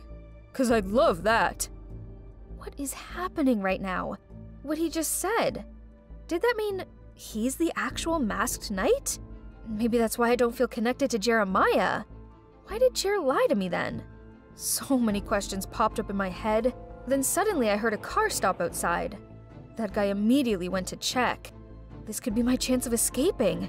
By the time I got downstairs, I saw the driver guy talking to Jeremiah. So I hid behind the door and watched on. Cameron, just stop this. Getting revenge on our father is one thing, but this is a step too far. Take Viv back to her family now and end this. I know this looks bad, but trust me, I'd never hurt Viv. I didn't mean for her to fall into the pool. That's why I jumped in to save her. But I need her as bait to show the world what that jerk Gregory is like. He doesn't deserve to be her father. I muzzled myself in shock. Gregory is their father? And that Cameron guy was the one saving me, not Jer? Don't you forget who abandoned us when Mom had a close brush with death, then took all our business and properties, even our home, leaving us helpless? That jerk deserves all he gets. I was trying to process it all when another car arrived Gregory's. I quickly hid under the stairs before he walked in with a bunch of bodyguards. Cameron, Jeremiah, my sons, haven't you grown up so fast? Cut to the chase. Give us back the business and what's rightfully ours. Then we'll let your stepdaughter go. Huh, indeed. Like father, like sons. Very smart. But still amateurs, my boys. You see, all that girl is to me is an obstacle blocking my way to the inheritance. So please, be my guest and take care of that little Miss Annoying. Aren't you afraid we'll expose everything you just said? And who's gonna believe you now? Jacqueline is mesmerized by me, so she'd believe anything I say. that snake. How dare he speak of my mum like that? Unable to hold in my rage, I jumped out of my hiding spot and screamed at Gregory. What did you say about my mum? You slimy, lying traitor! Nice talking to you all, but the fun has to end here. Goodbye. The guards lunged forward, about to tie me up when the cops smashed the door coming in, and behind them was Mom! Stop right there! How dare you do this to my daughter! Gregory's face turned paler than a ghost as he mumbled out, Jackie, honey, why you're here? Um, but just in time to save our baby, Vivian. Cut the act. I already heard everything you said, and you're going to jail for a long time. Then the cops led him and took his crook guards away. Seeing Mum, I was so happy I rushed to hug her. Turns out, her investigations of the pool incident led her to Cameron, so when she confronted him, he eventually told her everything. That's how they came up with a plan to catch Gregory red handed. Mum and the cops had been waiting in ambush around here for Gregory to show up. Then, well, you know the rest. A lot has happened in three months. Mum finally finished all the legal stuff, so now the property Gregory had merged with hers to gain her trust is now signed back over to Cam and Jeremiah. I realized that being wealthy isn't a bad thing. especially as it means with influence like this, I can help other less fortunate people and really make a difference. Now I help Mum with her business and her charity work, and I'm really enjoying it. I'm proud of my hard-working, amazing mom, and I'm proud of who I am. And guess what? I now have real friends who like me for me. As for Jeremiah, well, he apologized about everything. He used to fear his brother was gonna hurt me, so he lied to protect me. We made up, of course, and became the best of friends. I'm not sure I can say the same about his brother, though. He did everything he could to beg for my forgiveness, but I just can't. Then one day, Jer asked me to come by his home to visit his mom. She begged me not to think badly of her boys, especially Cameron. He's in love with you, you know? He always talks about you, and how he wishes things would have been different.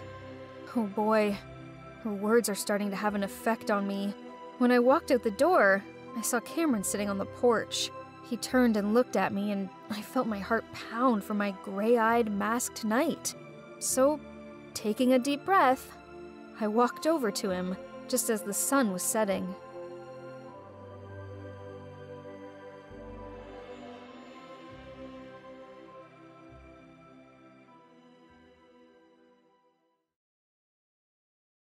Really? You're from Korea? No way. You sound just like a native speaker. Richard jumped up in surprise as I told him I came from South Korea. Yeah, I'm 100% Korean, I answered him, giggling. I had spent hours every day practicing my English. Guess it has paid off. But that was six years ago already. I'm Jenny, by the way, and I'm Korean. At the time I was 21, I joined an online English speaking club where I first met Richard, who never in a million years did I think I'd fall in love with. But that's exactly what happened. Ever since that very first class, we started talking every day, and the sparks between us were undeniable. He always mentioned how he wished I could be in the Czech Republic with him, and I found myself daydreaming about our future wedding. Okay, so I was getting ahead of myself, but he was just so amazing. After a month of talking nonstop, I realized I was probably going to fail college if I didn't start setting my priorities straight. But all I could think about was him. And whenever we weren't chatting, I was stalking him on social media. And every time I saw him tagged with another girl, I got so jealous. This couldn't be healthy. I mean, I hadn't even met him in real life, but still, we continued to fall for each other. And he even introduced me to his two best friends, Anastasia and Pavel, via video chat. But not as blossoming as my love life, I was failing miserably at college. I'd always been the one who laughed at my lovesick friends, and now I was no better than them. This wasn't right. Something had to change. So even though it was killing me inside to do this, one night before sitting down on my desk to work on my assignment, I just picked up my phone and blocked his WhatsApp, deactivated my Facebook, and all without letting him know. Yep, I full on ghosted him. It was such a hard decision, because that night, instead of getting anything done for the assignment, I found myself lying in bed with a tear soaked pillow. It hurt so much, but I had to think about my future. My parents would kill me if I didn't get a good job. I couldn't let them down. Anyway, Pavel messaged me a few days later saying Richard had gone totally crazy and he'd never seen him this upset before. He barely ate anything and would drink all day. He's not much different from a zombie now. But I stayed unfazed. Bet he'd be okay though. He was young and handsome, and girls were always after him. He'd get over me soon. And I'd get over him, right? If only it were that easy. I missed him every single day. Even though we'd been thousands of miles apart, he somehow always made me feel so safe, like he was right there next to me. What had I done? I'd ruined everything. Ugh. Instead of wasting time overthinking, it'd be better to put all my energy into my studies for now, right? And it worked. When graduation came around, I was the top student in my class and even got accepted on an exchange program in Australia. Without even thinking, I texted Richard to tell him the good news. I apologized for disappearing on him and said it had messed with my mind because I hadn't expected to fall for him so hard. I had just needed some time to finish my studies, but now I was ready to reconnect again. Well, he'd seen my messages, but there was no reply. It felt like someone had punched me in the heart. Hours later, he finally replied and said, Sorry, Jenny. I'll get in touch soon. Now isn't the best time. I couldn't believe the words I was reading. I could actually hear the sound of my heart shattering, but it served me right. I was the one who'd gotten rid of him. He deserved better. But still, I stalked him every day online. And then I realized the only way to solve this would be to fly to the Czech Republic and find him. First, though, I had my exchange program in Australia. I bought a new phone and got a new number for the trip to leave my old one in Korea for my uncle who was always complaining about his outdated phone. Those three months in Australia were awesome, and I got my mind off things for a little. I was ready to start fresh when I got back from the trip, until my uncle told me that someone had texted me on my old phone, but because he didn't know English, he didn't know if it was for me or not. I immediately checked it, and there was a message from Richard that said, Jenny, I'm so sorry for my last message. I miss you so much. Your smile, your eyes, your voice. I hope you can give me another chance. Love, Richard. OMG! Months had passed since he'd sent it, and the worst part of all is that my uncle had read the message, and so it said seen. This was a disaster. Okay, but I had to focus on the positive. He missed me. Maybe it wasn't too late. I tried to call him, but he didn't answer, so I texted him and explained what had happened. He finally replied and said he thought I'd given up on him. I'd never give up on him. We then had a proper phone call. I am still thinking about you all the time. Why didn't you send me a Facebook message? The words tumbled out of my mouth in a rush, as if I was afraid I would lose contact with him again in any sec. Suddenly, he went all quiet, and then he told me he'd recently met someone, and that he hoped I'd understand and still want to be friends. I felt devastated. Why was it so hard for us? But in the end, there was no other choice for me. I just wished him well and hung up. All I could do now was move on. It was time to find someone else to date, Clearly, Richard and I weren't meant to be. My heart hurt, but I found a job and threw myself into it, giving it all my attention. Eventually, I got promoted, and after five years, I was able to help my parents pay off their debt. I even moved up to a management position. Of course, during this time, I dated a bit, but I couldn't make any of the relationships last. I just missed Richard all the time. I kept dreaming of us spending Christmas together. It was so frustrating. I mean, it had been five years, and we hadn't spoken at all. Why couldn't I just get over him? I occasionally went on his Facebook page, but all I could see was his profile pic that remained the same for years. I'd unfriended Anastasia and Pavel too, so I couldn't stalk them either. For all I knew, he could be someone's husband now, maybe even a dad. And yet, still, I never gave up hope that maybe we'd meet in real life, our paths would cross, and we'd finally get to be together. I couldn't stop thinking about this. And then, three weeks before Christmas, I got a new following request on Instagram. I couldn't believe it. It was Pavel, and he was now married to Anastasia. This made me so happy. And he told me they were going on their honeymoon to Korea and hoped to see me. OMG, this was so exciting. I desperately wanted to ask him about Richard, but I was terrified to hear that he had kids or something. Anastasia messaged me too and asked how I was doing. I told her I was still single because I worked all the time. Hey, there was no way I could tell her it was because I was still obsessed with Richard. Anyway, the week flew by, and finally I was at the airport awaiting to meet Pavel and Anastasia in real life. They both looked so sweet, and I gave them the biggest hugs. After hugging them, I noted someone standing behind them. Oh, gee. Was that Richard? What was he doing there? I was so stunned I couldn't move. It, it was really him. Pavel broke the silence by saying, We brought Richard along for you, Jenny. Feel free to hit him, bite him, kick him, or whatever you want to do if, if you think he deserves it. Out of complete shock, I just burst into tears. It had been six long years of total silence, and now here he was, looking at me. I asked myself, could I hug him? But I didn't even get a chance to answer my thought because he ran towards me and picked me up in his arms, squeezing me tightly. Then he whispered in my ear, I'm so sorry, Jenny. Please don't cry. I'm here. I won't leave you, I promise. Could I trust him, though? I was still in shock as I drove them to their hotel, and then again later when I drove to take them out for some Korean food. I was nervous about hanging out with them all, but we seriously had the best night eating, drinking, and laughing. The next day, Pavel and Anastasia would start their honeymoon. So maybe then Richard and I would have some time alone together to talk about whatever was left between us. After dropping them back at their hotel, I was driving away when suddenly I saw Richard running back towards me. He said he wanted to tell me something, so I pulled over and we sat down on a bench to talk. I listened as he told me that over the past six years he tried to date other girls, but it never worked out because I was always in the back of his mind. He said he'd spend most of his time working so he could save up to visit me or buy me a ticket so I could come and visit him. It had taken him longer than he'd hoped because his parents had got divorced and he'd been looking after his mom, who was super depressed. A few months later, she was diagnosed with cancer, and so he'd had to work even harder to help her pay for treatment. After three long years of fighting, she sadly passed away. And ever since then, he'd been feeling so lonely and sad. One day, he asked Pavel to contact me somehow, and when he found out I was still single, he was over the moon and decided it was finally time to come to Korea and see me. He said seeing me in real life had made him fall even more in love with me, which he hadn't thought was even possible.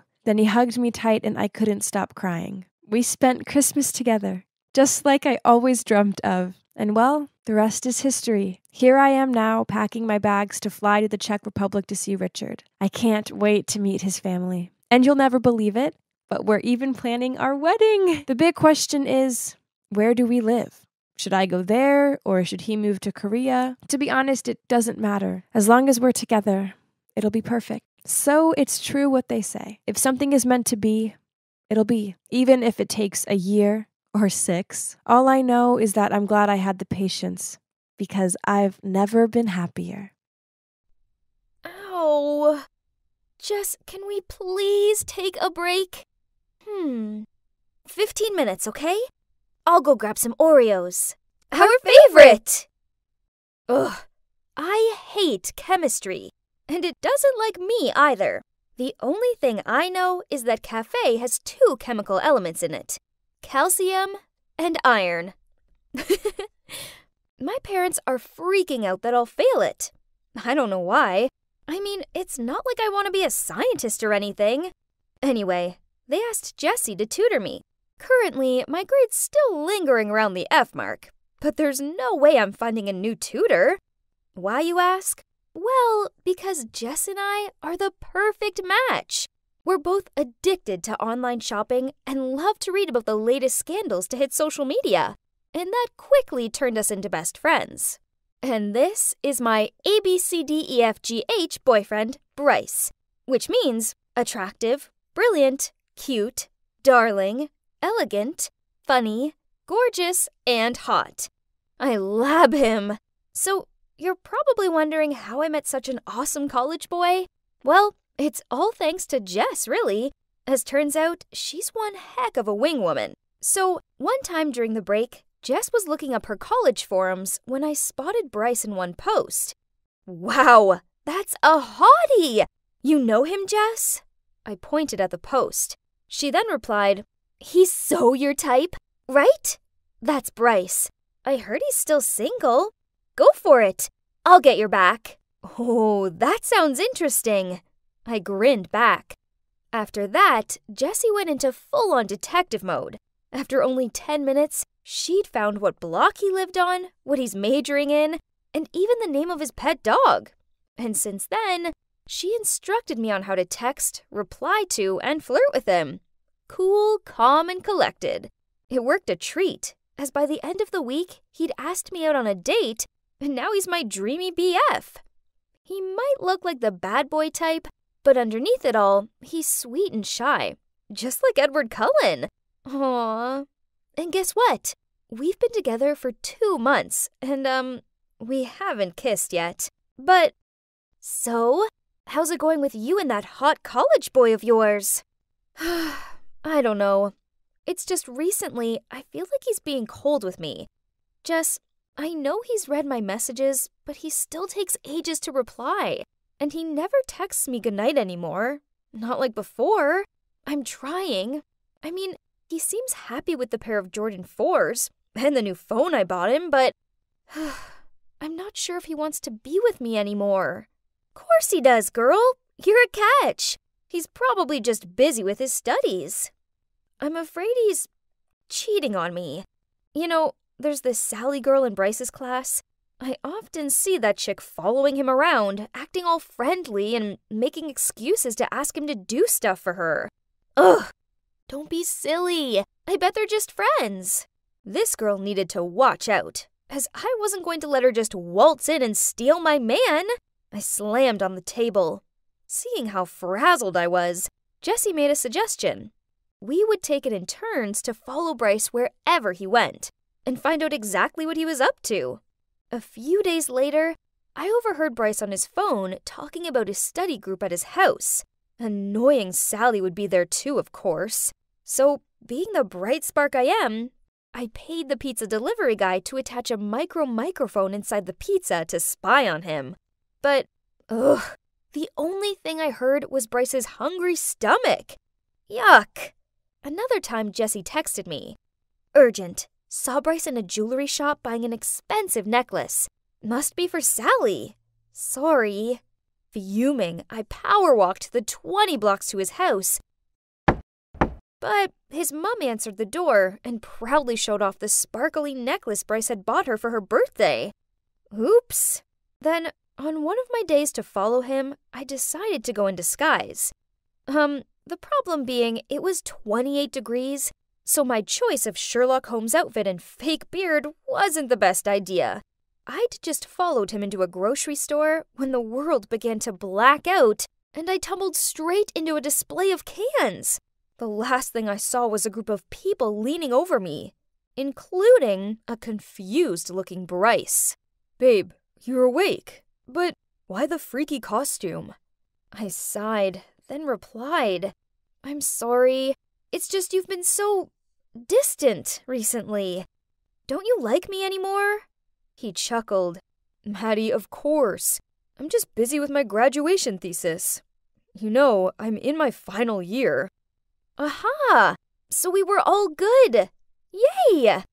So the next day, I bought us a set of those seriously cute couples rings from Tiffany & Co. to mark this. Peace was restored. At least for a short time. Lately, whenever we went out on a date, Bryce didn't pay attention to my words anymore and just had his eyes glued to his phone screen. Oof! He even chuckled and had this suspect twinkle in his eyes. So I tried leaning over him to see what was so funny, but I couldn't see a thing, as his screen brightness was lowered to the minimum. What are you doing? I snatched his phone, but. What? Wrong password.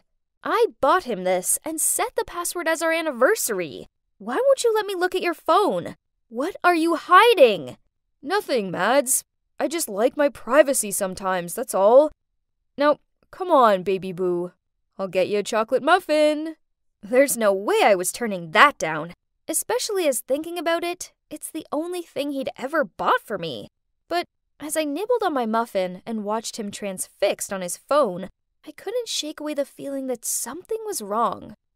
I couldn't drag Jessie into this mission, as her studies were occupying her attention at the moment. It's okay. I can solo it. And this time, I won't faint. I swear. I did my research and found the perfect spy software. I know. I don't normally condone this sort of behavior, but Bryce was hiding something, and I needed to find out what it was. The software was simple to use. I just had to find a way to install it on Bryce's phone. The app itself could be hidden, leaving me free to read his messages without him ever finding out. Perfect! Mission 1 How to install that software on Bryce's phone in a really short time? This is not an easy task, as Bryce is so obsessed with his phone, he even sleeps with it. On a few occasions, he does move away from it, but it's for a few minutes max, meaning I needed to move fast. It took me a whole day of practicing to beat the three minute mark. I tried it over and over on four different phones and at different times of the day to make sure it'd work under any circumstance. By the end of it, I couldn't bend my fingers. Ouch! Mission 1 done. Successfully trained even under time pressure. Mission number 2 detect his passcode. I didn't know what his dumb passcode was only that it certainly wasn't our anniversary. We went to the cafe, and as usual, he was stuck on his phone. So I held up mine, pretended to be playing games, but actually turned on the camera and started recording so I could track the position of his fingers later when typing the passcode. It took hours. Literally. Bryce eventually gave his phone a break to order some snacks. So after that, he had to unlock his phone again. Phew! Finally, after an hour long video, I've gotten the footage I needed. Okay, Detective Maddie, ready, set, go. I rewatched the video and started analyzing it as soon as I got home. I stared at the screen with my eyes, following Bryce's hand movements. He could be fast, but honey, your girl is already a step ahead. It didn't take long till I figured out the digits. Easy peasy. Mission 3 Action. What better way than a lovely picnic to complete my quest? And as expected, Bryce just sat there, phone in hand, the whole time. Ugh, I wasn't even sure on how I could carry out this task anymore, but I told myself that the time would surely come. After a few hours, he was bored to death, and without even looking at me, he grumbled, Babe, let's just go home. I immediately shouted out, No! Not until I. Uh, I mean, it's so nice out here. I want to stay a little longer. You just take a nap. Fine. Wake me up when you're ready.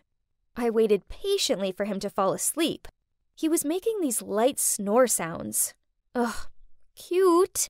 I was so nervous. I bit down on my bottom lip as I gently pulled his phone out of his pocket. Then I turned my back to him and typed in the passcode with my shaky hands. And I was in! Yeah! I was so happy that I almost forgot and screamed. I did it all in record time.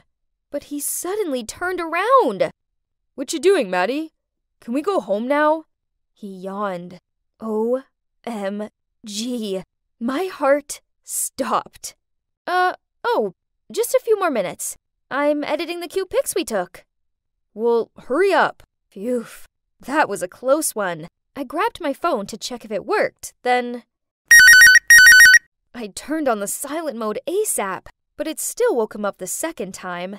As much as I wanted to snoop through his messages, I knew they'd have to wait, so we went home. Ugh! Talk about girl message overload. There were dozens, all of them craftily saved under names such as Monitor and Professor. He'd even used my pickup line on some of them. Are you made of copper and tellurium? Because you're cute. Ew. Then I suddenly spotted a familiar face. Jessie? What? My bestie was secretly dating my BF? My heart sunk. This sucked. It didn't make any sense. If Jessie liked Bryce from the start, then why had she encouraged me to flirt with him? Geez, the messages between them went way back. Then I saw one that broke my heart all over again. Maddie's family is loaded. Baby, let's pretend to be her BF, and she'll buy you whatever you want. Just don't take it further. So that explained his shyness, why he hardly looked at me, and why after two months of dating he hadn't tried to kiss me. Then a recent message from Bryce to Jessie caught my eye. She's so boring. I got us enough money now, so gonna dump her next week.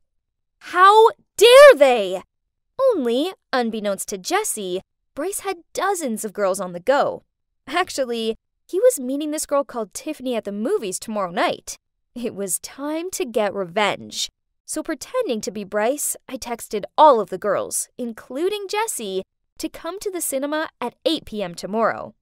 I borrowed my dad's baseball cap, wore my oversized sunglasses, and arrived there early, so I didn't miss the show.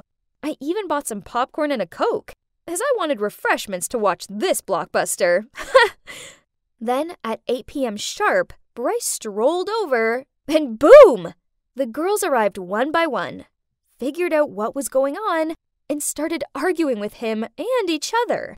Tiffany threw her popcorn over his head. Hilarious! And another girl called him a jerk and whacked him with her handbag, while the others were shouting and pulling his hair. And me? Well, I lurked in the background and secretly filmed it all.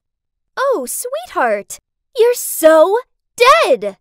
Wow, Jessie, our main character, has appeared.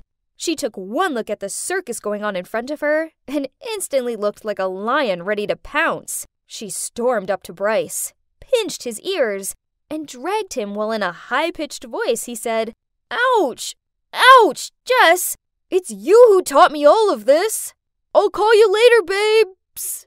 When these two almost passed me, I pulled off the cap and shades and jumped out at them. Voila! Could someone come and help me pick up their jaws from the floor? Couldn't expect Maddie the mastermind, huh? I didn't stick around for their explanations. Instead, I shimmied off. but I did send her a little souvenir. Hmm, Jessie is my best friend, so I have to share anything interesting with her, right? Have a good night, my bestie. And my ABCDEFGH boyfriend, you too. But let me add the IJK. I'm just kidding. Yeah, as for me, I've decided to give my heart a break for a while, as this has taught me a priceless lesson. Don't be smitten with handsome boys. Oh, and be wary of sneaky so called besties.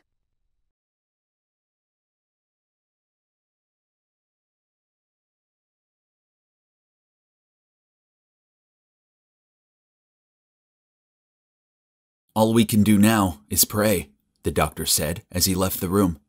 I looked at Ethan lying on the hospital bed, surrounded by medical equipment, and felt my heart sink. Then Elliot came over to me and said, Charles, I think you should maybe go home and rest. There's nothing you can do right now. Yeah, Elliot was right. Now I had to be stronger than ever, and in fact, if it wasn't for her, I probably wouldn't have made it through this crazy time. Although Elliot was a newbie in our department, we'd become close very quickly, and I was so grateful for her. I smiled at Elliot and offered to drive her home. And then I went to see my mate Cooper. He'd just got back from living abroad. We'd been friends for years. We first met at a gay pride party. He was bisexual and I was gay. At least, I had been. But now, I wasn't so sure. You see, I realized that every time I was with Elliot, my heart was beating faster than usual. Could it be that? I got so lost in my thoughts, I didn't even see Cooper opening the door. He looked at me and said, Dude, what's wrong with you? You look like you've seen a ghost. I told him I was in deep trouble and really needed his advice. Lying on his couch, I explained how my boyfriend Ethan was in hospital, but that I'd started having feelings for a girl. Cooper looked at me with sympathy in his eyes, but then he just nudged me and said, Charles, welcome to my life. It's okay to have feelings for both men and women. It's normal. I asked him what I should do, and he said I should just listen to my heart and let it decide. And then he winked at me and asked to see a photo of this girl who was turning me bi. I opened my phone and showed him, and he looked shocked. His eyes went wide, and I asked him if he thought she was hot too. But then he said something that made my blood run cold. She's my ex girlfriend, bro. Whoa, what? This couldn't be happening. Then Cooper told me how they used to date and had even set a wedding date. But then something had happened and they'd broken up. This was too weird. What were the chances? I wanted to ask him more about what she was like and why they broke up. But from the look on his face, it was too painful to speak about. Plus, it also made me feel a bit uncomfortable. I could barely sleep that night, worrying about Ethan and thinking about Elliot and Cooper. It was all so strange. The next day, when I was concentrating on my work, my manager suddenly came over and said, Charles, congrats. You're doing so well. I didn't expect one of your team members that you managed to get promoted so quickly. Huh? What was he talking about?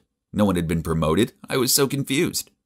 He noticed how puzzled I looked and said, Didn't you know? Elliot took over Ethan's role as director. What? How did this happen? I looked at him in surprise and he continued. Word on the street is that Elliot is the president's daughter, so it's normal for her to take over. She clearly hid her identity well, didn't she? Then he just laughed and walked off. Wait, if Elliot was the president's daughter, that meant that she was related to Ethan. She was Ethan's sister, right? Oh, this couldn't be. She'd acted like she didn't even know him at the hospital that day. I quickly ran to find her and said, Hey, Elliot, why didn't you tell me you were Ethan's sister? You know that me and your brother are in love. Why would you hide this from me?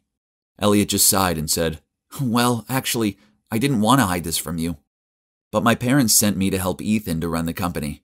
I don't have any experience, so I wanted everyone to treat me like a normal newbie so I could actually learn. That's why I hid my identity. I'm so sorry. I guess she'd done the right thing, as I'd heard lots of gossip behind my back when I'd started dating Ethan. So I sympathized with her. But now it all made sense. The reason I had a crush on Elliot. She looked so similar to Ethan. The same deep blue eyes, the same cheekbones, even the same gestures. She also had the same shrimp allergy, and they both had this pen spinning habit when they're deep in thoughts. How had I not noticed this before? What if I wasn't in love with Elliot? I was just in love with how she was so similar to Ethan. Okay, that made me feel a lot better. So it was Ethan I loved after all. The next day I went to visit Ethan with a huge bouquet of sunflowers, his favorite. When I was walking through the entrance, I spotted Cooper. Hey, we meet again. I called out. What are you doing here? He told me how he was visiting his ex who'd been in an accident, and I said I was visiting my boyfriend who'd been in an accident. Let's walk together, I said. What room's your ex in? 1502, Cooper said. Are you sure? I mean, that was Ethan's room, I thought. Then it hit me. Hang on, is your ex called Ethan? I asked, really hoping it wasn't. How did you know that? Cooper said. Because Ethan is my boyfriend, I said. This was way too awkward. How was it possible to have this many coincidences? I couldn't believe it. Cooper was shocked too, and said that Ethan was the reason he and Elliot had broken up. He'd fallen in love with Ethan. And Ethan's family had been so upset by this, they kicked Ethan out of the house. Oh, so that's why Ethan never talked to his family and told me to never ask about them. After that mess, unfortunately, their relationship didn't work out. So Cooper packed up his stuff and decided to go study abroad to start things fresh. Oh man, this was a lot to digest. I couldn't help but wonder how Elliot had felt when she'd found out her husband to be was in love with her brother. Cooper and I were so shocked, but not as shocked as we were going to be a moment later. We were about to walk into Ethan's room when we heard Elliot's voice. She was speaking in a mean tone, saying, Ethan, you just wait. How will you feel when your boyfriend falls in love with me? It'll be painful, right? I'll make him leave you and it'll serve you right after everything you've done to me. It's time for a taste of your own medicine. I froze when I heard her saying that. I turned to Cooper and he was just as shocked as I was. Suddenly he burst through the door and I stormed in after him. Elliot almost fell off her chair in surprise at seeing us. Um, why, why are you two here together? She said. Hey, stranger, Cooper said. Come on, Elliot, give it up already. It's been a long time. Things were over between us. Just let go and move on. Cooper was so angry, but Elliot just laughed and said, Get over yourself, Cooper. It's not about you. I don't have feelings for you anymore. I just want revenge on my brother. It was so cruel of him to steal you away and ruin my life like that. Then, with eyes full of hatred, she turned and looked at poor Ethan lying there. I was furious. I realized exactly what Elliot had been doing deliberately flirting with me to steal me away from Ethan. How could she? I confronted her on the spot. What's wrong with you? Why would you treat me like this? And your poor brother? I didn't expect. Before I could continue, though, she interrupted me and said, Charles, wait, listen to me, please. It's true that that was my intention at first, but then I, I fell in love with you. And I thought you were starting to fall for me, too. Uh, I'm so sorry. Elliot then tried to reach for my hand, but I was disgusted. I pushed her away and said, Get away from me. I don't want to see you anymore. Elliot started crying, but I was too upset to be bothered. I was just so horrified that she'd do this. I was so disappointed in myself, too, for falling into her trap. Poor Ethan. He didn't deserve any of this. I stared at him lying there on the hospital bed. What if he knew? I kept staring at him and swear I saw his fingers twitch. Oh my gosh, was he waking up? Cooper quickly went to the doctor while I stayed with Ethan and tried to talk to him. Ethan, Ethan, are you awake? The doctors ran a few tests and said that Ethan had finally regained consciousness and would wake up properly soon. Cooper and I were over the moon. I was so relieved he was going to be okay. And it seemed like Elliot also felt the same as she stood quietly in a corner of the room, tears streaming down her eyes to the corner of her mouth that turned up in the most subtle smile. And as expected, about a week later, Ethan opened his eyes. I'd never been so happy in my life. He started physical therapy, and I spent a lot of time helping him. Of course, Cooper popped in to visit too, and we all had a good laugh about how connected we all were. This must have been real fate, because calling this coincidence would be an understatement. As for Elliot, she just disappeared. But then a few days later, when Ethan, Cooper, and I were chatting together in the hospital, an email popped up on my phone. It was Elliot, and she said she was so sorry for what she'd done, and she just hoped that Ethan and I could forgive her. Then she said she wished us only happiness. I told Ethan and Cooper the good news, and we were all so relieved. Maybe we could all be friends after all. I mean, Elliot might become my sister in law one day, right? Life can be so funny. I'm just so glad Cooper appeared when he did, and everything came out into the open. I'd never forgive myself if I'd left Ethan for his sister. Ethan was always the one for me.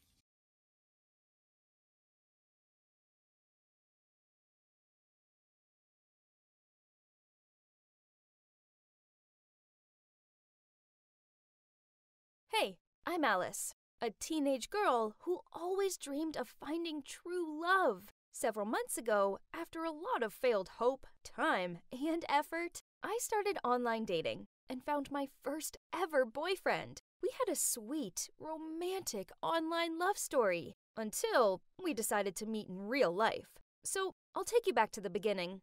I would not be impatient that much when it came to love if both my besties, Kimmy and Zara, didn't get boyfriends, which made me become the only loner of the group. I had to watch them being all lovey dovey and calling each other weird names like Baby Boo and Cuddly Bear. Yuck! Even if the boys weren't around, they would still drive me crazy talking about their sweet guys all the time.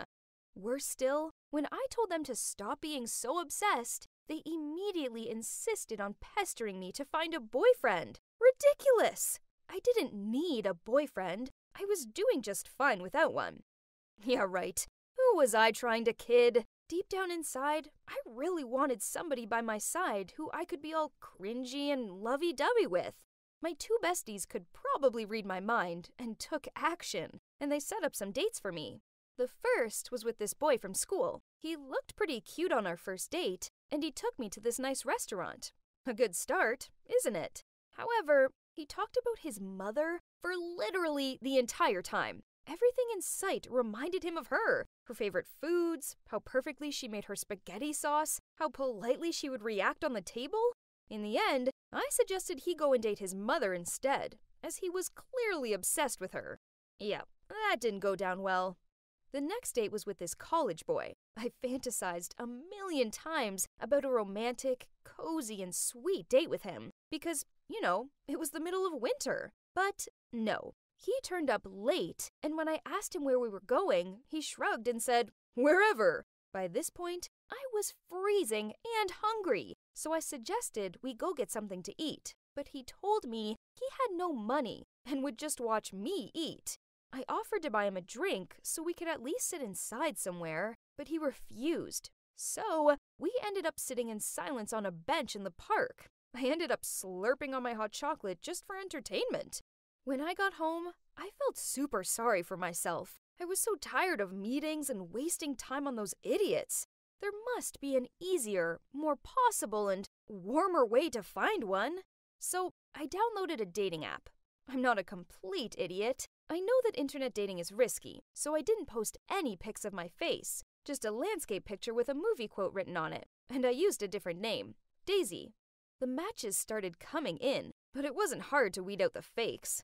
There was even a man using a fake account to try and find out if his daughter was using it. Delete, delete, delete. I was about to give up and accept that I'd be single and alone forever. This online world was exactly like what I'd read about it. All lies. I'd just have to get some cats or something for company. But then, this guy messaged me saying he liked the movie quotes I used. Impressive. So I messaged him back. I found out that this Roger guy had the same movie taste as me, and he even lived in the same neighborhood. We got on so well, so we chatted way past midnight. It seemed like we had everything in common, from favorite pizza toppings to top celebrities. He even shared his love of electronic dance music. And once I tried hearing his recommended playlist, I was immediately completely hooked on it. Wow, this guy seemed interesting so I decided to flirt it up and see if he had a sense of humor. I mean, I had to create opportunities for myself, right? So I wrote, Hey Roger, I enjoy chatting with you. Do you know what I would do if I could change the alphabet? He replied, No, what would you do? I would put you and I together so I could talk to you more. Then he sent me lots of heart icons and said, You're so funny. Actually, you don't need to change the alphabet because I also desire to know if there's any other way for me to talk to you. Chatting to this boy had cheered me up, so I sent him my Facebook link. I stayed cautious, so I sent him my clone account, which I sometimes used for sharing cool posts and commenting on pages. Moments later, I got a friend request from Roger. I checked his wall and found out a little more info about him, such as he went to the same high school as me two years ago and he played soccer because there were some field photos. There were no pictures of his face, but that was fine. Those real life photos could tell me more about him. The thought of having a cute, sporty boyfriend really made me excited. I smiled as I walked out of my room to go to the bathroom. Then I bumped into my older brother, Sam. Get out of my way, potato head. He taunted me as usual, but he had this weird grin on his face. Why are you so happy?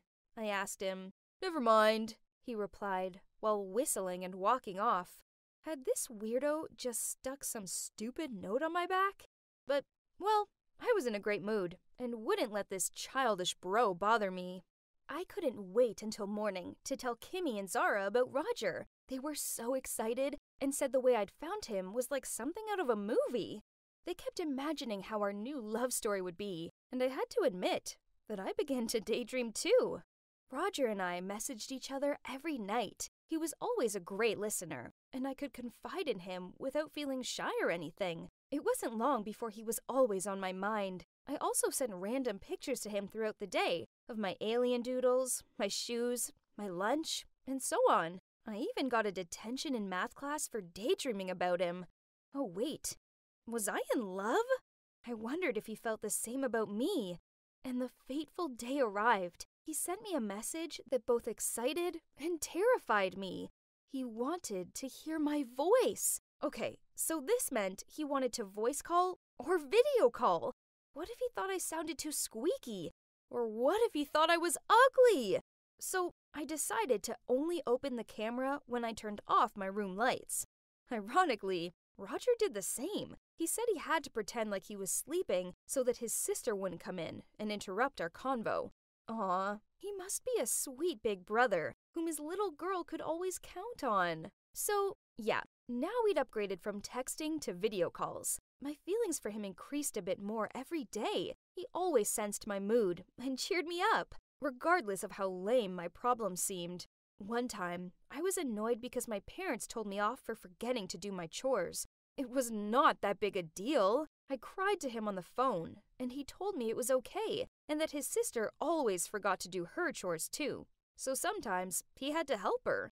God, he was so nice. Roger's sister was so lucky to have a big brother like him. Unlike my brother, who always sat back and sniggered whenever I got in trouble. Comparing them made me feel self pity and cry even harder until a point that he frantically blurted out Listen, Daisy, I like you. Don't cry, because it hurts me so bad that I can't be there for you. I just want to meet you as soon as possible. Oh my god, was he serious? Did this mean he was asking me to be his girlfriend? At first, I was thrilled, but right after that, I started to worry. What if he didn't like the way I looked? Besides, when he'd found out I'd used a clone account to talk to him, would he be angry with me? I needed advice, so I turned to my besties. They told me to go and meet him, as this way I'd know if he was serious about me or not. If he liked the real me, he would hear me out without getting mad. I arranged to meet Roger in the park, and we both agreed to both wear something red for easy recognition. So I went for a red dress and red headband combo. Cute! I checked my phone a zillion times to make sure he hadn't canceled. I also prepared as best I could by practicing my smile in the mirror and by doing a last minute nail polish change up. Yeah, I know, I was a slave to love. Ugh, I hated lovey dovey couples, but look at me now. We arranged to meet by the flower garden in the park, the perfect location for a daisy. On the way, I had mixed feelings. I was both excited about seeing my online boyfriend for the first time and also worried. I mean, what if he didn't like me? As I arrived, I saw the back of a guy who was wearing a red hoodie. That must be him. Um, what should I do now? Okay, so I took a deep breath, then walked up behind him and timidly said, Um, hi, Roger. Is that you? He turned around, and to my shock, I saw that it was Sam, my dearest brother. Alice, what are you doing here? he asked. What? I'm here to meet my online boyfriend. What about you? I raised an eyebrow. Me too. I mean, I'm meeting a girl. My girlfriend, Daisy. He flustered out. Uh, are you? R- Roger? I spluttered out and ended up biting my tongue in the process. Ouch! There was this awkward silence as we both stood there letting the awful truth soak in. Ugh! I swear it was weird to think back on our messages and talking before. I got goosebumps at the thought of my brother's sweet words earlier. I couldn't take this any more, so I muttered out something about going home, then walked off. but I wasn't paying attention and walked straight into the flower garden and ended up trampling on the flowers, which received disapproving tuts from an onlooker. Oops! I couldn't really go home. It was way too embarrassing. So I wandered aimlessly around the park. Can you guys imagine it? The boy that had filled my dreams for the last two months turned out to be my brother. Now I knew why we had so many things in common. Because we were siblings. It started getting dark, but I was still in the park, sitting on a bench and wondering when my life turned into such a mess. Then Sam messaged me saying, Where are you? Come back home. I replied, No way! I don't want to see your face ever again. He replied, That's not what you said earlier. Trust him to make a joke out of this, but nothing about this situation was funny. Ugh! I replied, This is all your fault. I'm never coming home. Ever. Then he messaged back, Stop being overdramatic. I told Mom you went to Kimmy's. Come home for dinner now. I didn't want to go home, but it was freezing out here, and I guess I was feeling hungry. Why could Sam be all warm and well fed while I was cold and miserable? I arrived home to see Sam sitting at the dinner table.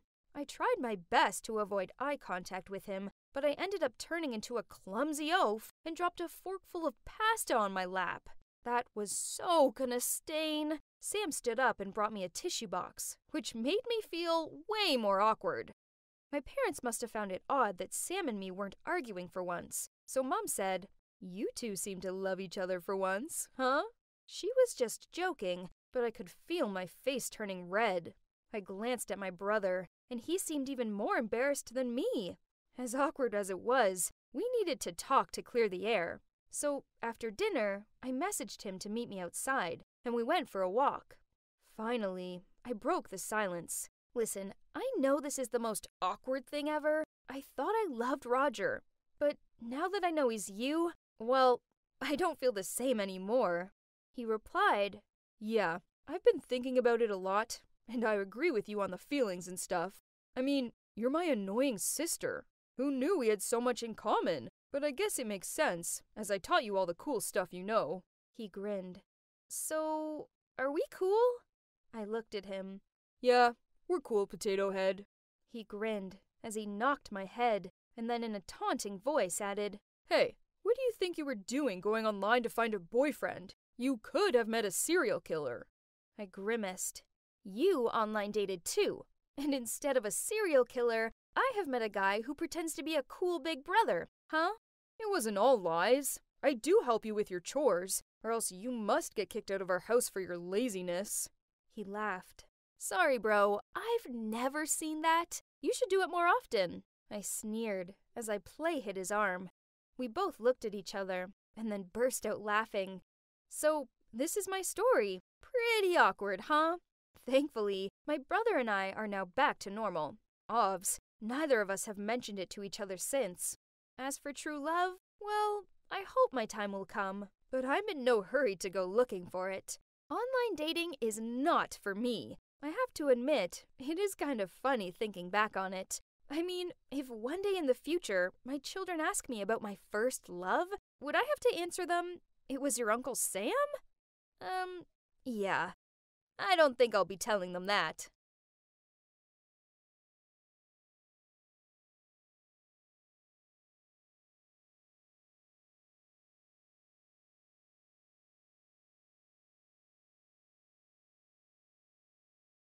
I've never liked hospitals.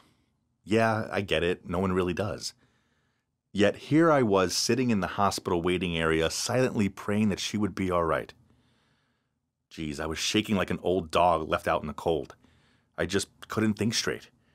Why was no one telling me if she would be okay? Suddenly, a stern faced doctor appeared and told me, Sir, the operation was a success. Your sister will be just fine. You can go through and see her now. I didn't know whether to burst into tears because of relief or to run away because of fear. Finally, I still went to see her.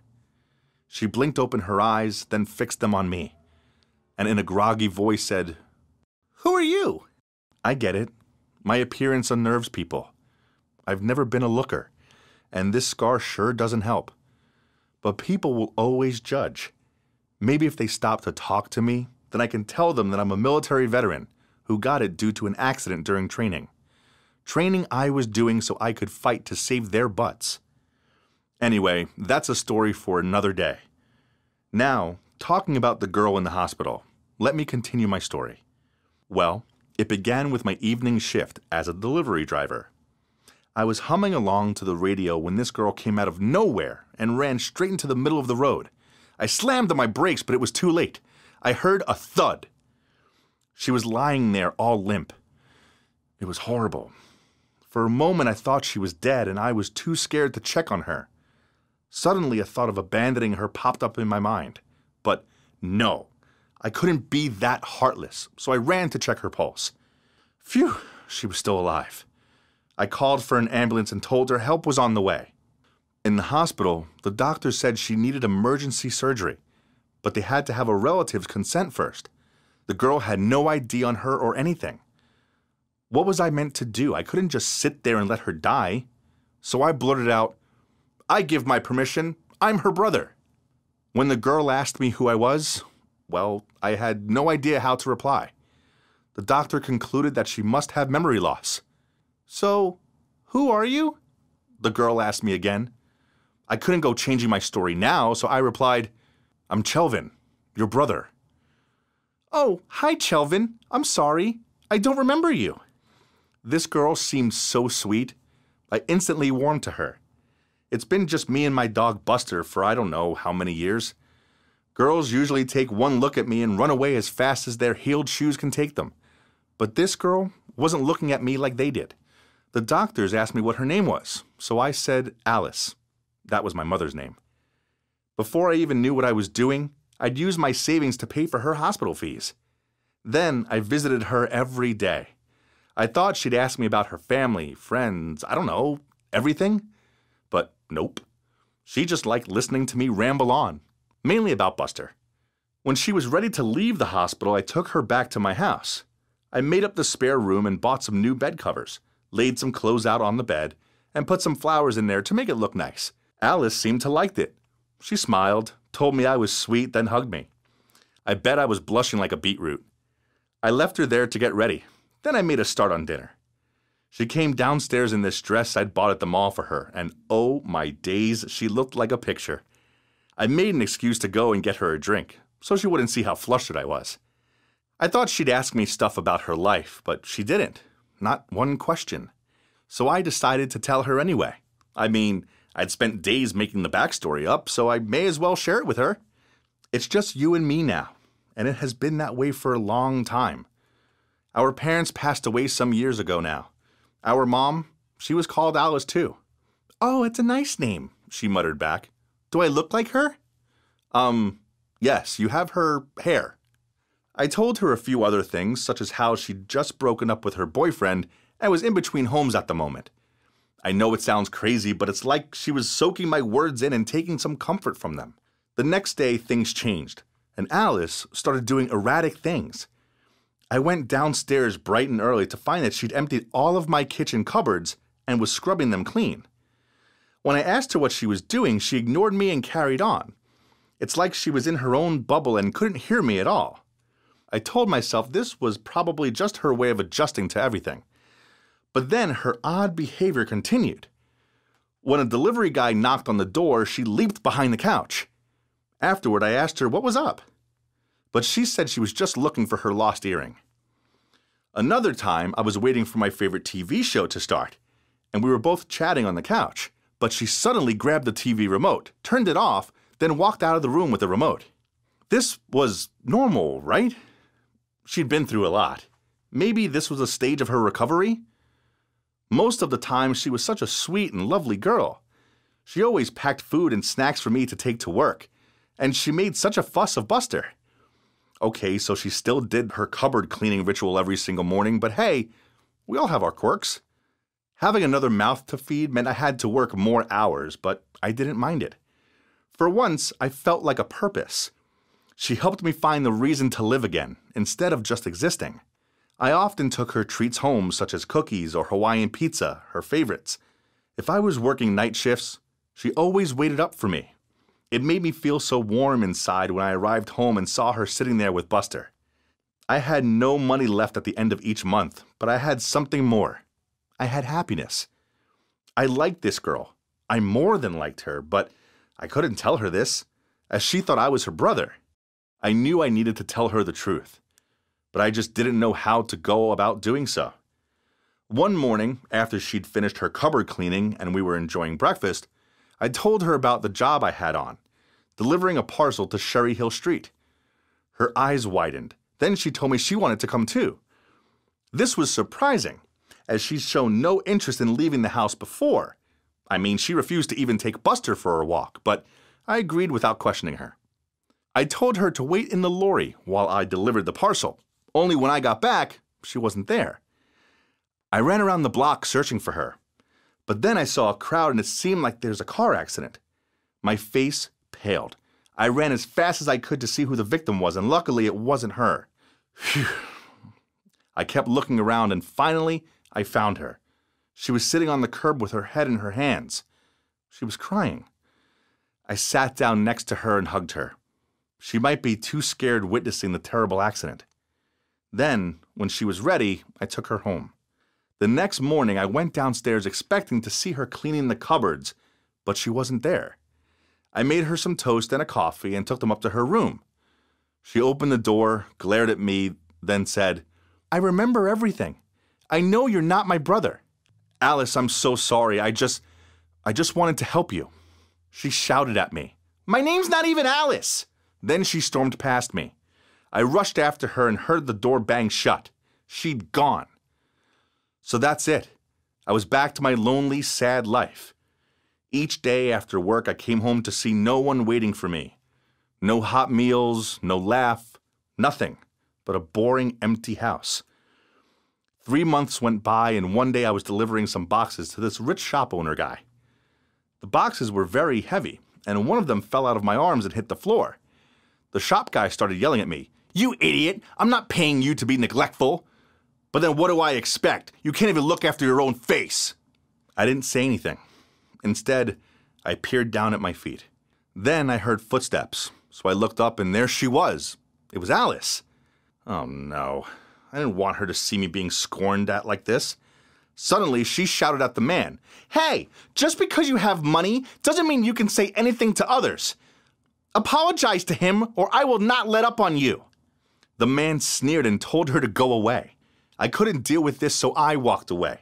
But Alice rushed after me and called out to me, Please, Chelvin, let me tell you the truth. I stopped walking, and that's when she told me everything.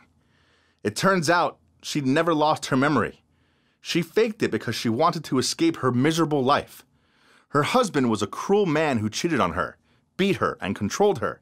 He was a famous TV presenter, which is why she turned off the TV that time, as she'd seen him on there. She hid when the doorbell rang, as she was terrified it'd be him, and she tidied the cupboard every morning out of habit, as if she didn't do it back home, he would beat her. What?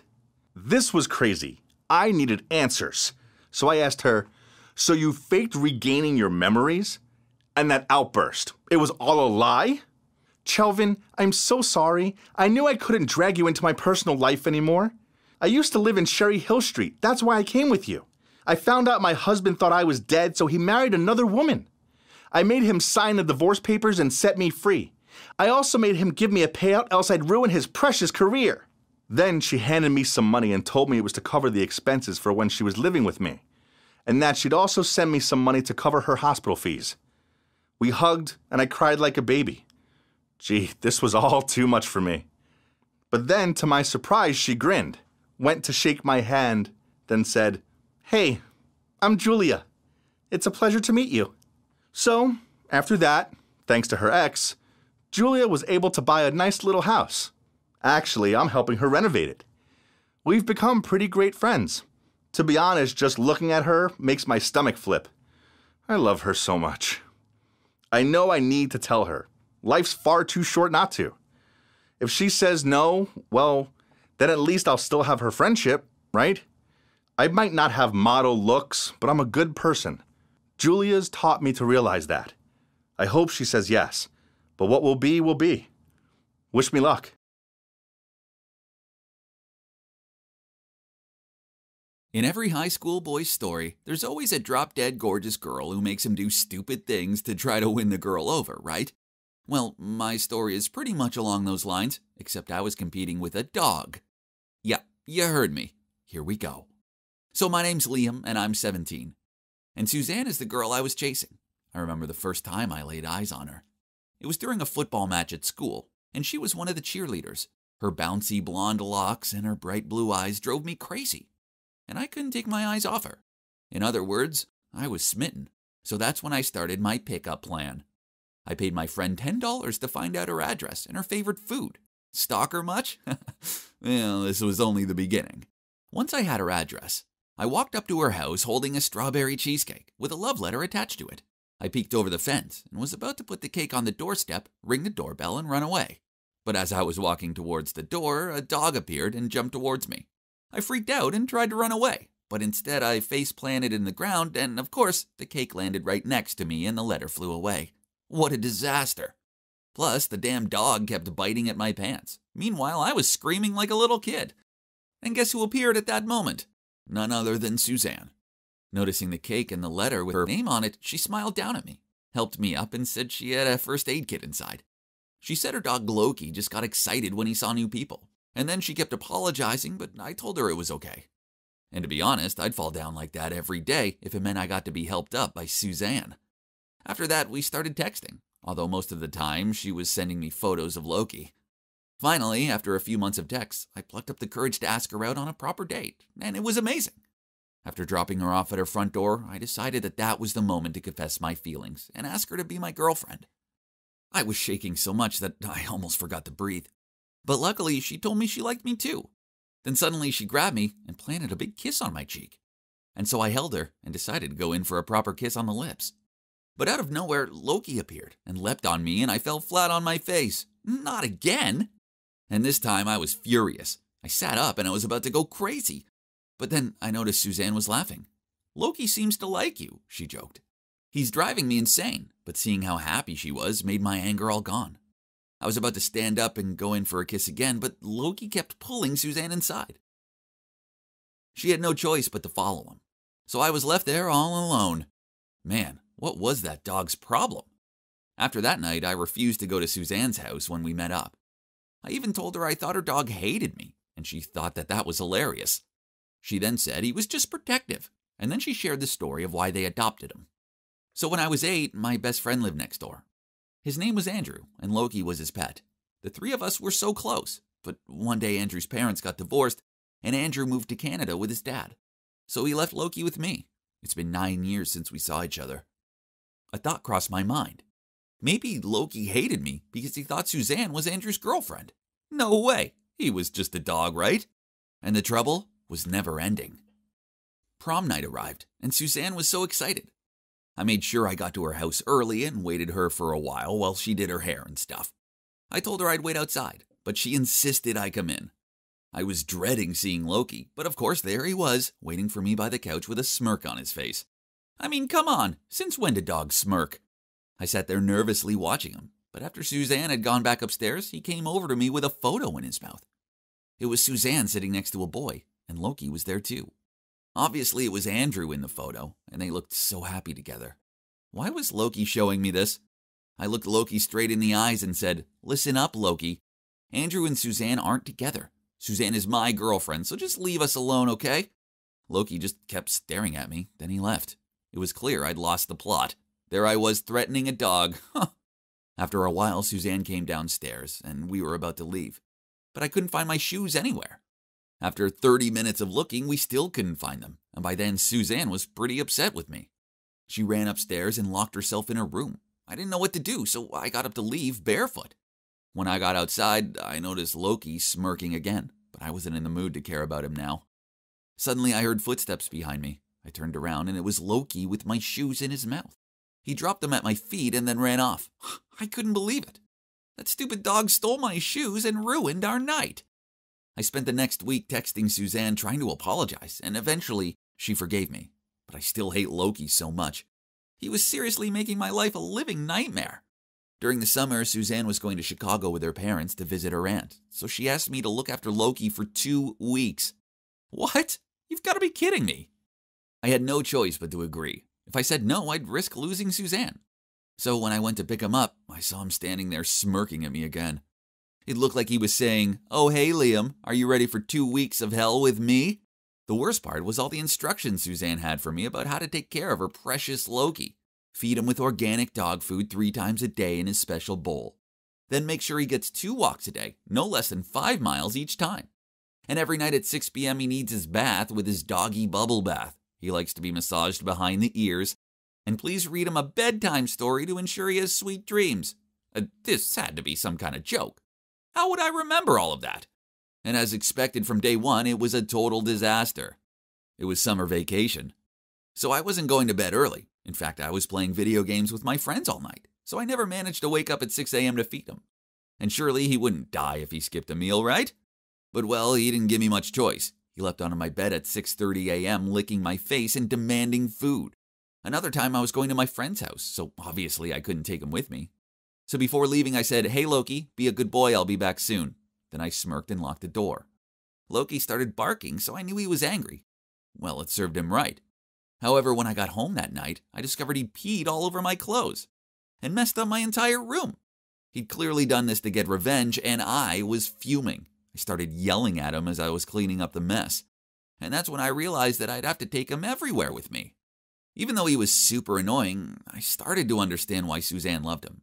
He was smart, affectionate, and I guess it's kind of nice to have company. When I was watching movies alone, he would come over and lay in my lap. When I played video games, I could ask him to bring me snacks.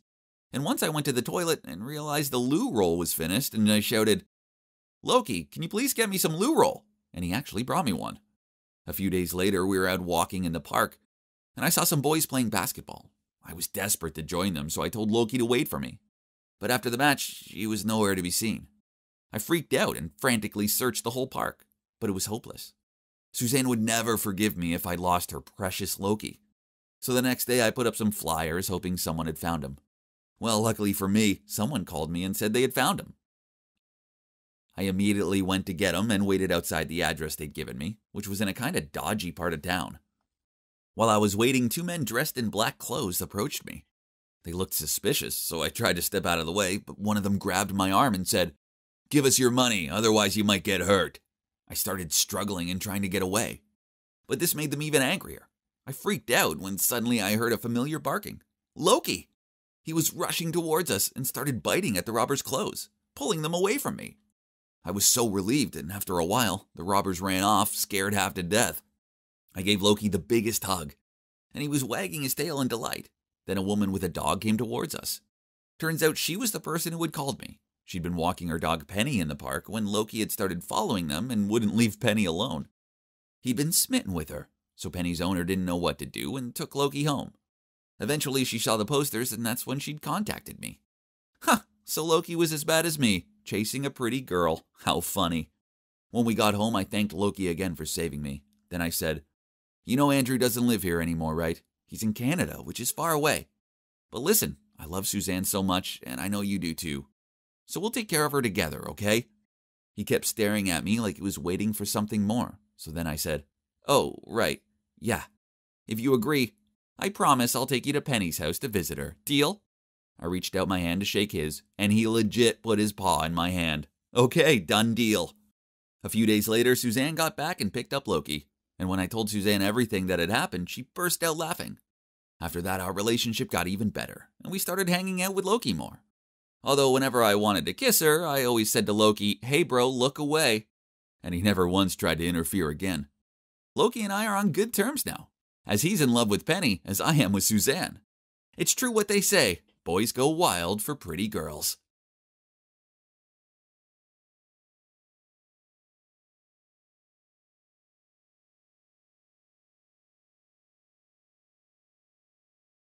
Hi, Melanie here, and I am hanging on the edge of my seat to hear the results of this year's science fair. I know I might not look like a typical studious girl, but I'm definitely serious about school. Ooh, one second. The winner of West High Science Fair 2023 is Harry Silver. That means the runner up is Melanie D'Angelo. Congratulations to you both. Please come onto the stage for your awards. Man, I can't believe I'm second to him again. We'd been literally swapping first and second place on every leaderboard since we were kids.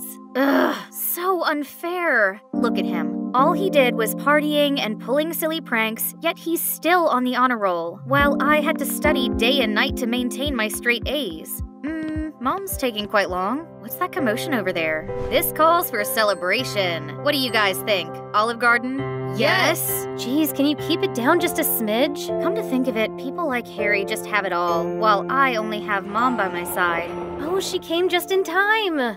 Dad left us for another woman a while ago, so my mom had been struggling every day being a single mom. She must be really sad and lonely, so I'd never mention Dad anymore. Poor her. The more I felt for Mom, the angrier I was at Dad. Only my bestie, Izzy, knew about this, cause, you know, it's hard to open up when you're from a broken home. Luckily, there's one thing in this world that could raise my spirits, as well as my heartbeat, in these dark, gloomy days. My dreamy crush, Cameron. Last year of middle school was coming to an end, so I gotta make a move with Cameron fast. The problem was, every time I got close to him, that party pooper appeared out of nowhere to make fun of me. He kept calling me melanin, cause that's what you lack, and bothered me nonstop. We had never gotten along, but seriously? What's wrong with him lately? He picked on me way too much, and why only me? I can't believe everyone thinks he's a model student. To me, Harry's no more than the most annoying bug. All right. Hair, makeup, pearly white teeth, check. I'm giving it another go today, waiting for Cameron at his locker with my love letter in hand. As soon as I saw his gorgeous face, I took a deep breath, then put up the sweetest smile. But all of a sudden, someone messed up my hair from behind. Ouch! I turned around to see the culprit. Harry! You look hot. And it generates electricity too. Now you can charge your phone with your hair. Thank me later. oh my god! Nobody should see this Medusa hairdo. My plan to confess failed again before it even started. All thanks to that clown Harry.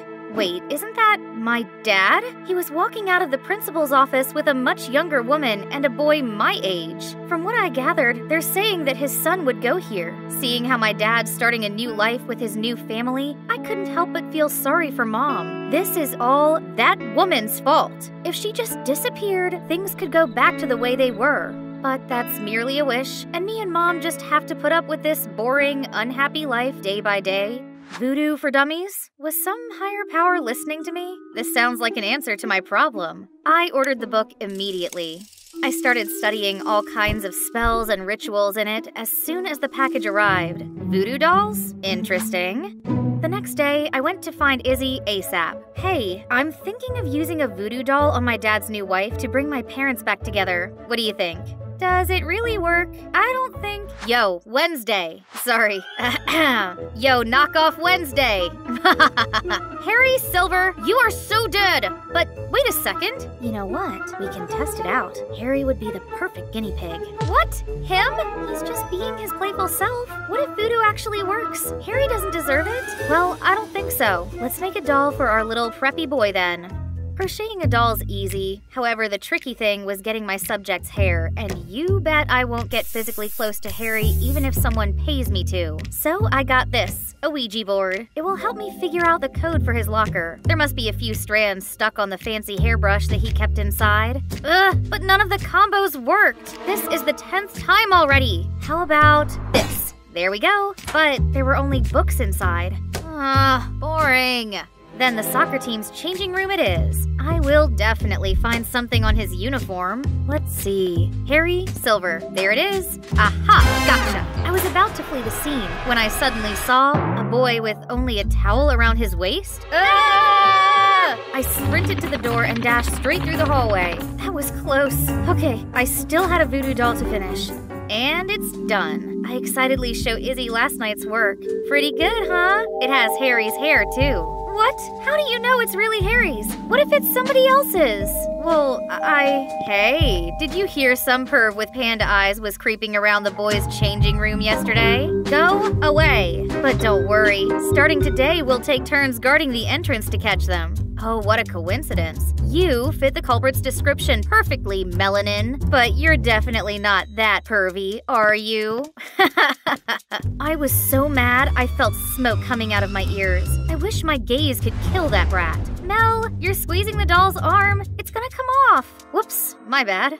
Next time I saw Harry, he had bandages all over his right arm. Hang on, did I do that? Feeling guilty and curious, I approached him. Hey, what's wrong with your arm? It's been in pain since yesterday for no reason. My doctor said nothing's wrong, but I kept feeling like someone's squeezing it really hard. Ugh, there it goes again. Oh, spooky. It means the doll is truly magical. I immediately came running to tell Izzy, and of course, she was shocked too. But hold up. Nosy Artie? How long has he been standing here? This guy clearly had heard everything. He kept reaching for my doll. No way. He'd tell the whole school about it. Then suddenly, Harry sat down next to me. Melanie, my arm hurts. Feed me. Uh, what's he pulling now? Can't he see I'm in the middle of something? Right at that moment, Artie snatched my doll. Leave it to me. No, Artie, no! Not with milk in his mouth. Oops, sorry, I felt so nauseous all of a sudden. That was more than enough to make all of us firm believers. But maybe I should stop. I do feel guilty for dragging Harry into this.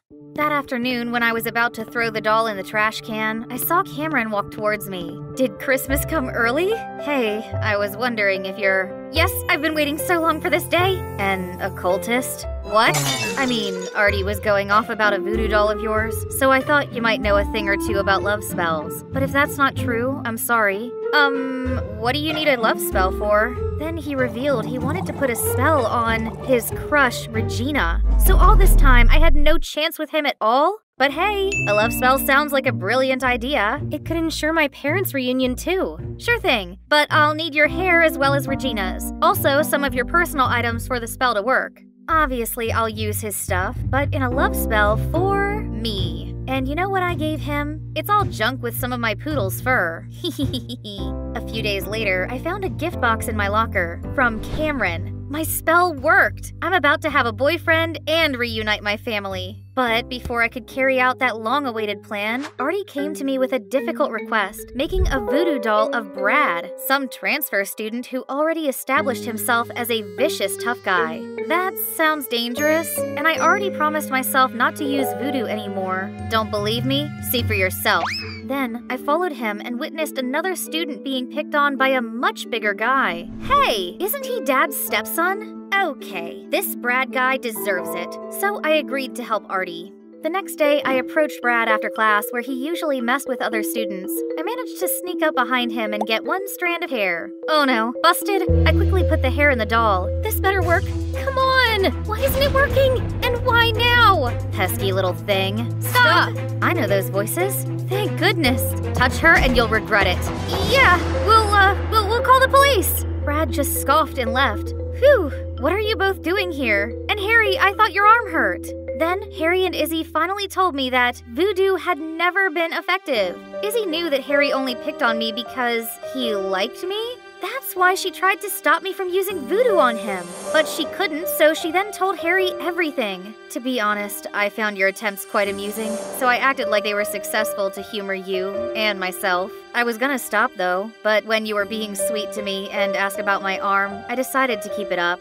Oh my god. My bestie had been friends with my mortal enemy all along. Behind my back? Am I a joke to you? Why are you here? To make fun of me even more than you already did? Because I got worried when I heard you're going after Brad. Melanie, you're the smartest girl in school. I don't understand why you're doing all these dumb gimmicks. Yeah, you've been acting strange lately. Since when are you superstitious? What other choice do I have? Voodoo or at whatever cost? I need to get my parents back together, and that punk Brad is my dad's stepson. He deserves whatever comes to him for ruining my life. And you know what else? Both of you get out of my sight for good! Then I stormed off. After that day, I no longer talked to Izzy, and Harry's relentless pestering finally stopped. But honestly, it felt a bit empty without them, especially with the upcoming school field trip. Of course, I'm still coming. Who needs them anyway? This is the chance for Cameron and I to be closer now that we're talking on the regs. It's gonna be the best trip ever. I'd never been the outdoorsy type, but does camping involve this many physical tasks? Almost done. What on earth is that? Isn't he under my love spell already? I mean, he even gave me a present. I was still in shock when Cameron came over to help with the tent. Thank you. No need to. I can't thank you enough. That spell of yours worked wonders. What does he mean by that? Then, out of nowhere, Izzy tapped on my shoulder. I've tried to tell you, those two have been flirting for a while now. I guess Cameron just needed your spell as a little spiritual push. That means none of these has ever worked? There's absolutely no hope of bringing my family back? Feeling devastated, I burst into tears and ran off. I was running without looking and bumped into. Brad? Melanie, right? Just who I want to see. Or should I say, my dear stepsister? Your mama sent you here? Let go of me and piss off! I wonder how pathetic she had to be to have her husband walk out on her. if this was any other time, I would have fought back. But after all that just happened, I've lost all of my will to do anything now. Out of the blue, I saw someone charge at Brad and land a brutal blow on his face. I said I'd make you regret touching her. I had to stop Harry before he messed Brad's face up beyond recognition. It's time we got out of here. Why did you come help me after everything I said? I'm kinda used to your coldness. Besides, my love language is following you around and teasing you until you notice or get mad at me. Silly. I know. On a different note, I thought you knew that voodoo was useless. Yeah, so I thought of a love spell to get my parents back together. Then my family will be whole and happy again. But I know it now. There's no such thing as magic. Why not? Magic is alive and well inside you, and it is called forgiving. It cannot punish those who hurt you and your loved ones, but it can help you let go of your pains and sufferings. What are you trying to say? I mean, no magic can make your dad come back, but someday the pain he caused you won't ache anymore. Eventually, your mom and you will heal and lead a fulfilling life without him. I never took this goofy guy for the philosophical and mature type, but I guess he's right. I've been so caught up in my own bitterness that I didn't realize moving on was an option. When my mom picked me up, I decided to finally ask her about my dad. Unexpectedly, mom told me that of course it was sad at first, but she's actually doing fine these days. Life's supposed to have its ups and downs. As long as we welcome them with open arms, everything will turn out all right in the end. After all, your father will have the life he wants while we get on with our lives. Turned out I was the only one chasing the past all this time when what I actually needed was closure. Mom's words were more than enough to put this grieving period behind me. My last year as a middle schooler was quite eventful. Brad was no longer a problem since he got a taste of Harry's fist. Did I mention that we became a trio of best friends? For now, at least. Harry never stopped his shenanigans, but instead of getting annoyed like before, I found him quite adorable and endearing. Oh, just kiss already. Izzy!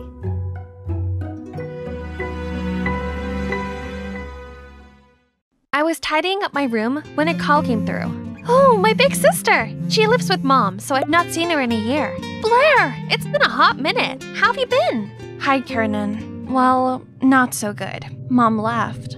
Oh no! What happened? Then Blair told me it's due to mom's debts. She had run away from the loan sharks and left my sister behind. That's awful! So I told her to come to Portland and live with us. She agreed to come, but then I realized that Blair staying here wasn't really down to me. Oh well, it's not like I could leave her in danger, right? So later over dinner, I told my family about Blair's current situation. Oh, how terrible! Yes, Blair must come and stay. Yay! Their kindness didn't surprise me as my stepmom and stepsis, Chrissy, have been lovely to me ever since I moved in. You know what's even cooler? Chrissy is a rising teen pop star, but she's so sweet. We've grown super close, and she even told me all about her secret boyfriend, Damien. They'd been together long before Chrissy became famous, and had since kept their relationship out of the public eye. This is so exciting! I haven't seen Blair since our parents split. This guest bedroom is gonna be hers, and we're living under one roof again. Blair's basically my alter ego. She's pretty, outgoing, and popular, while I'm more of a homebody. Come to think of it, I see a lot of Blair and Chrissy. They're both so extroverted and confident. They'll get along just great. But to everyone's surprise, Blair showed up looking completely different. Wow, it seems like living with mom, a party animal, had clearly influenced Blair. Hello, Blair. I'm Stacy, and this is my daughter Chrissy. Welcome to Portland. You must be tired from your trip. Let me take your bag. Sure. Huh? Doesn't it seem like everyone's excited about Blair's arrival, all except for Blair? Maybe she's just tired. I showed Blair her room and helped her unpack. Oh my god, they're unbearable. How can you stand living with them? They think they're so much better than everyone else. What? Blair had only spoken to them for five seconds. Why she disliked them so much already? Give them a chance, they're really lovely. Blair's probably just stressed out from all the mom stuff. Hopefully, with time, she'll see how great stepmom and Chrissy are. Only things didn't get any better. After class, both Chrissy and Blair came up to me. Hey, wanna, hang, out? I asked her first. Oh, then we can all go together. Sorry, Chrissy. It's just that we haven't seen each other in ages, and there's a lot of catching up to do. Maybe we can go to Sephora tomorrow to check out that new Anastasia palette you like. Sure, have fun. Then Chrissy left. I'm sure she really wants us all to hang out. Oh, please. She thinks just cause she's popular, she can always get her own way. She's mid. Okay, maybe it's best not to mention either of my sisters to one another to avoid World War III. Things went on like that for a while. I took turns to hang out with Blair and Chrissy. Once, when Blair was chilling in my room, I noticed her smiling at her phone. Seemed like our homegirl had finally found something fun to enjoy around here. I excitedly asked her what she was watching. Look, isn't he cute? He goes to our school also. Wait, no, it can't be. That's Damien, Chrissy's secret boyfriend. If Blair learns that the girl she hates is her crush's girlfriend, all hell will break loose. I think I'll ask him out. Really? He's so popular, he must have hundreds of girls wrapped around his finger already. Besides, what if he's not into you? You'll only be rejected and get hurt. What do you mean? Am I not pretty enough? Oh, See. You think that a popular guy like him is only suitable for your famous, fabulous other sister, Chrissy, don't you? No, no, that's not what I mean. You're gorgeous. In fact, out of his league. You deserve a guy who has time just for you. So why bother competing for attention from someone like him? Okay, thanks. But he's my type. I'll ask for his number Monday morning. Oh no! I just accidentally encouraged Blair to ask out Chrissy's boyfriend. I can't reveal that Chrissy and Damien are secretly together, but I can't let Blair steal someone else's boyfriend either. What a mess! I tossed and turned all night. Then when I woke up, I decided I'd just have to make Blair stop liking Damien. I don't condone catfishing, but right now it's the only way. Hey there, Blair, right? It's Damien here from math class. What you doing? A few seconds later, Blair replied, Oh my god, I was just thinking about getting your number. Looks like the first steps of my plan are working. I texted Blair as Damien regularly. I made sure he was a man of a thousand red flags. But for some puzzling reason, Blair seemed smitten with him. I gave him a seriously challengeable temperament. He could throw a tantrum one moment and become sweet the next. Then I photoshopped Damien's selfie into a photo of a messy bedroom, then sent it to Blair. Surely she couldn't abide by a narcissistic, messy guy like him. I'm so sorry, Damien, but I have to save my family. Huh? What? She sent back a picture of her room being messier than ever. She's always the clean freak around here. I had to see with my own eyes. Hey, may I borrow your hair curler? And what's with your room? So, what if it's a bit untidy? Neat people are total psychos. Okay, it's time to get personal. Blair's biggest pet peeve was being commented on her look. So, when she sent Damien a selfie, I didn't hold back. Babe, can't you dress more ladylike? And you really should cover up that awful tattoo. Voila! That's how you wake up the beast inside this fierce girl. However, the next day, Blair showed up with a completely new look. Worse still, she walked straight over to Damien. I had to fake having an emergency to prevent a disaster from happening. Afterward, I texted Blair. I'm not ready to let everyone know about us yet. Please understand, babe. You know I like you. There, that should stop her from trying to approach him again. Even so, during lunch, Blair wouldn't stop blabbering about Damien and showing me his texts.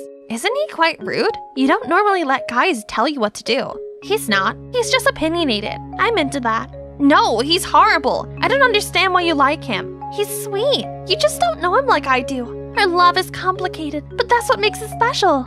Seriously, you called that love? What do you know? Okay, little Miss Love Guru, if you're really that experienced, make that guy your boyfriend, succeed, and I'll give up the love of my life. If not, I'll do as I please. What Blair is daring me to do was impossible. That guy, Adrian, is as popular as Damien. While Damien's the friendly one, Adrian is nicknamed Jack Frost due to his icy cold exterior. Rumor has it, no one has ever seen him crack a smile. Surrender, as expected. Then step aside, sister. Not knowing what else to do, I agreed to the bet. This is for Blair, for Chrissy, for Dad's happiness.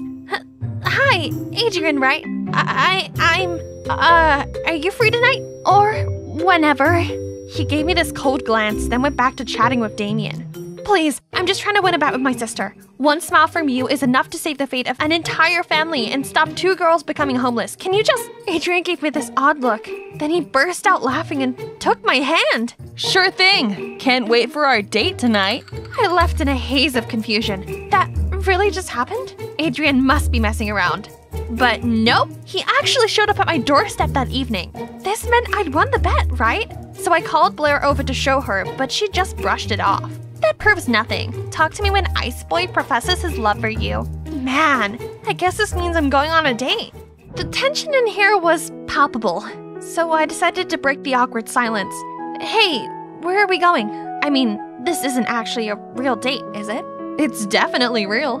You insisted. I must have looked so dazed that he continued. Don't worry, I'm not messing with you. Anyway, I think you'll like where I'm taking you. I used to think he was incapable of smiling, but turns out he looks even cuter when he does. A drive-through cinema? Wow! I'd seen these in old movies, but I had no idea it still existed. So, what's the deal with your sister Chrissy? You mentioned a bet? You know that Chrissy is my sister? Of course, it's not exactly hidden. Besides, I'm friends with Chrissy's boyfriend. So, you know? Yep, there's no secrets between me and Damien. And don't worry, I have his back. So, can you answer my question now? I like this different side to Adrian. So before I could stop myself, I told him how the bet wasn't with Chrissy, but with my other sister, Blair. And I was catfishing Blair as Damien to protect my family, but it's barely working. Whoa, that's intense. Secrets make things complicated. Life sure would be easier if we could just be ourselves. So, why did you decide to go on a date with me? Don't you think it's weird? No, not really. It's how girls normally ask me out. I arrived home feeling on cloud nine, but then I walked past Chrissy's room and saw her upset. I asked her what's going on. It's Damien. He wants us to go public, but I told him I'm not ready yet. I like having this part of me private, and I don't want Damien to be open to backlash and scrutiny. But he didn't understand and thought I was embarrassed of him. Oh, Chrissy, what a pain. Give him time, I'm sure he'll come around. But the school performance is in a few days. How am I supposed to take the stage in this state? I hated seeing Chrissy so downhearted like this. And I thought about Adrian and what he said during our date about honesty. I don't know much about the pressures of fame, but I do know that your feelings for Damien are real. I don't think love is something that you should hide. Honesty is the best policy. It might be hard at first, but you can get through it together. Now, come to my case, I should also follow my own advice and put an end to my catfishing before it gets out of hand. I tried hard to think of the best way to break this to Blair while we were walking to school the next day. After much hesitation, I pulled her aside before entering school for a talk. Only, before I could get to the main part, Damien walked past, and oddly, Blair didn't do so much as to blink. Seeing my confusion, she said, Yesterday he ignored all of my messages. You're right, I deserve someone better. Anyway, what did you want to tell me? Oh, that, um, my date with Adrian was amazing. It all happened because of you. So, thanks. And sorry about Damien. It's okay. That's strange. Did my smitten sister really just give up that easily? But anyway, at least it's all over now. and I don't even have to come clean anymore. The day of Chrissy's performance arrived. Me, Adrian, and Damien had backstage access. Actually, I'm here for emotional support as Chrissy is about to tell everyone about her relationship with Damien. This is a surprise for Damien, too. He just thinks we're here to get a better view of Chrissy. she slays the performance, and the audience adored her. Thanks, everyone. Thank you so much. Actually, today is an extra special day because I have something. But suddenly, Blair stormed onto the stage and snatched Chrissy's mic.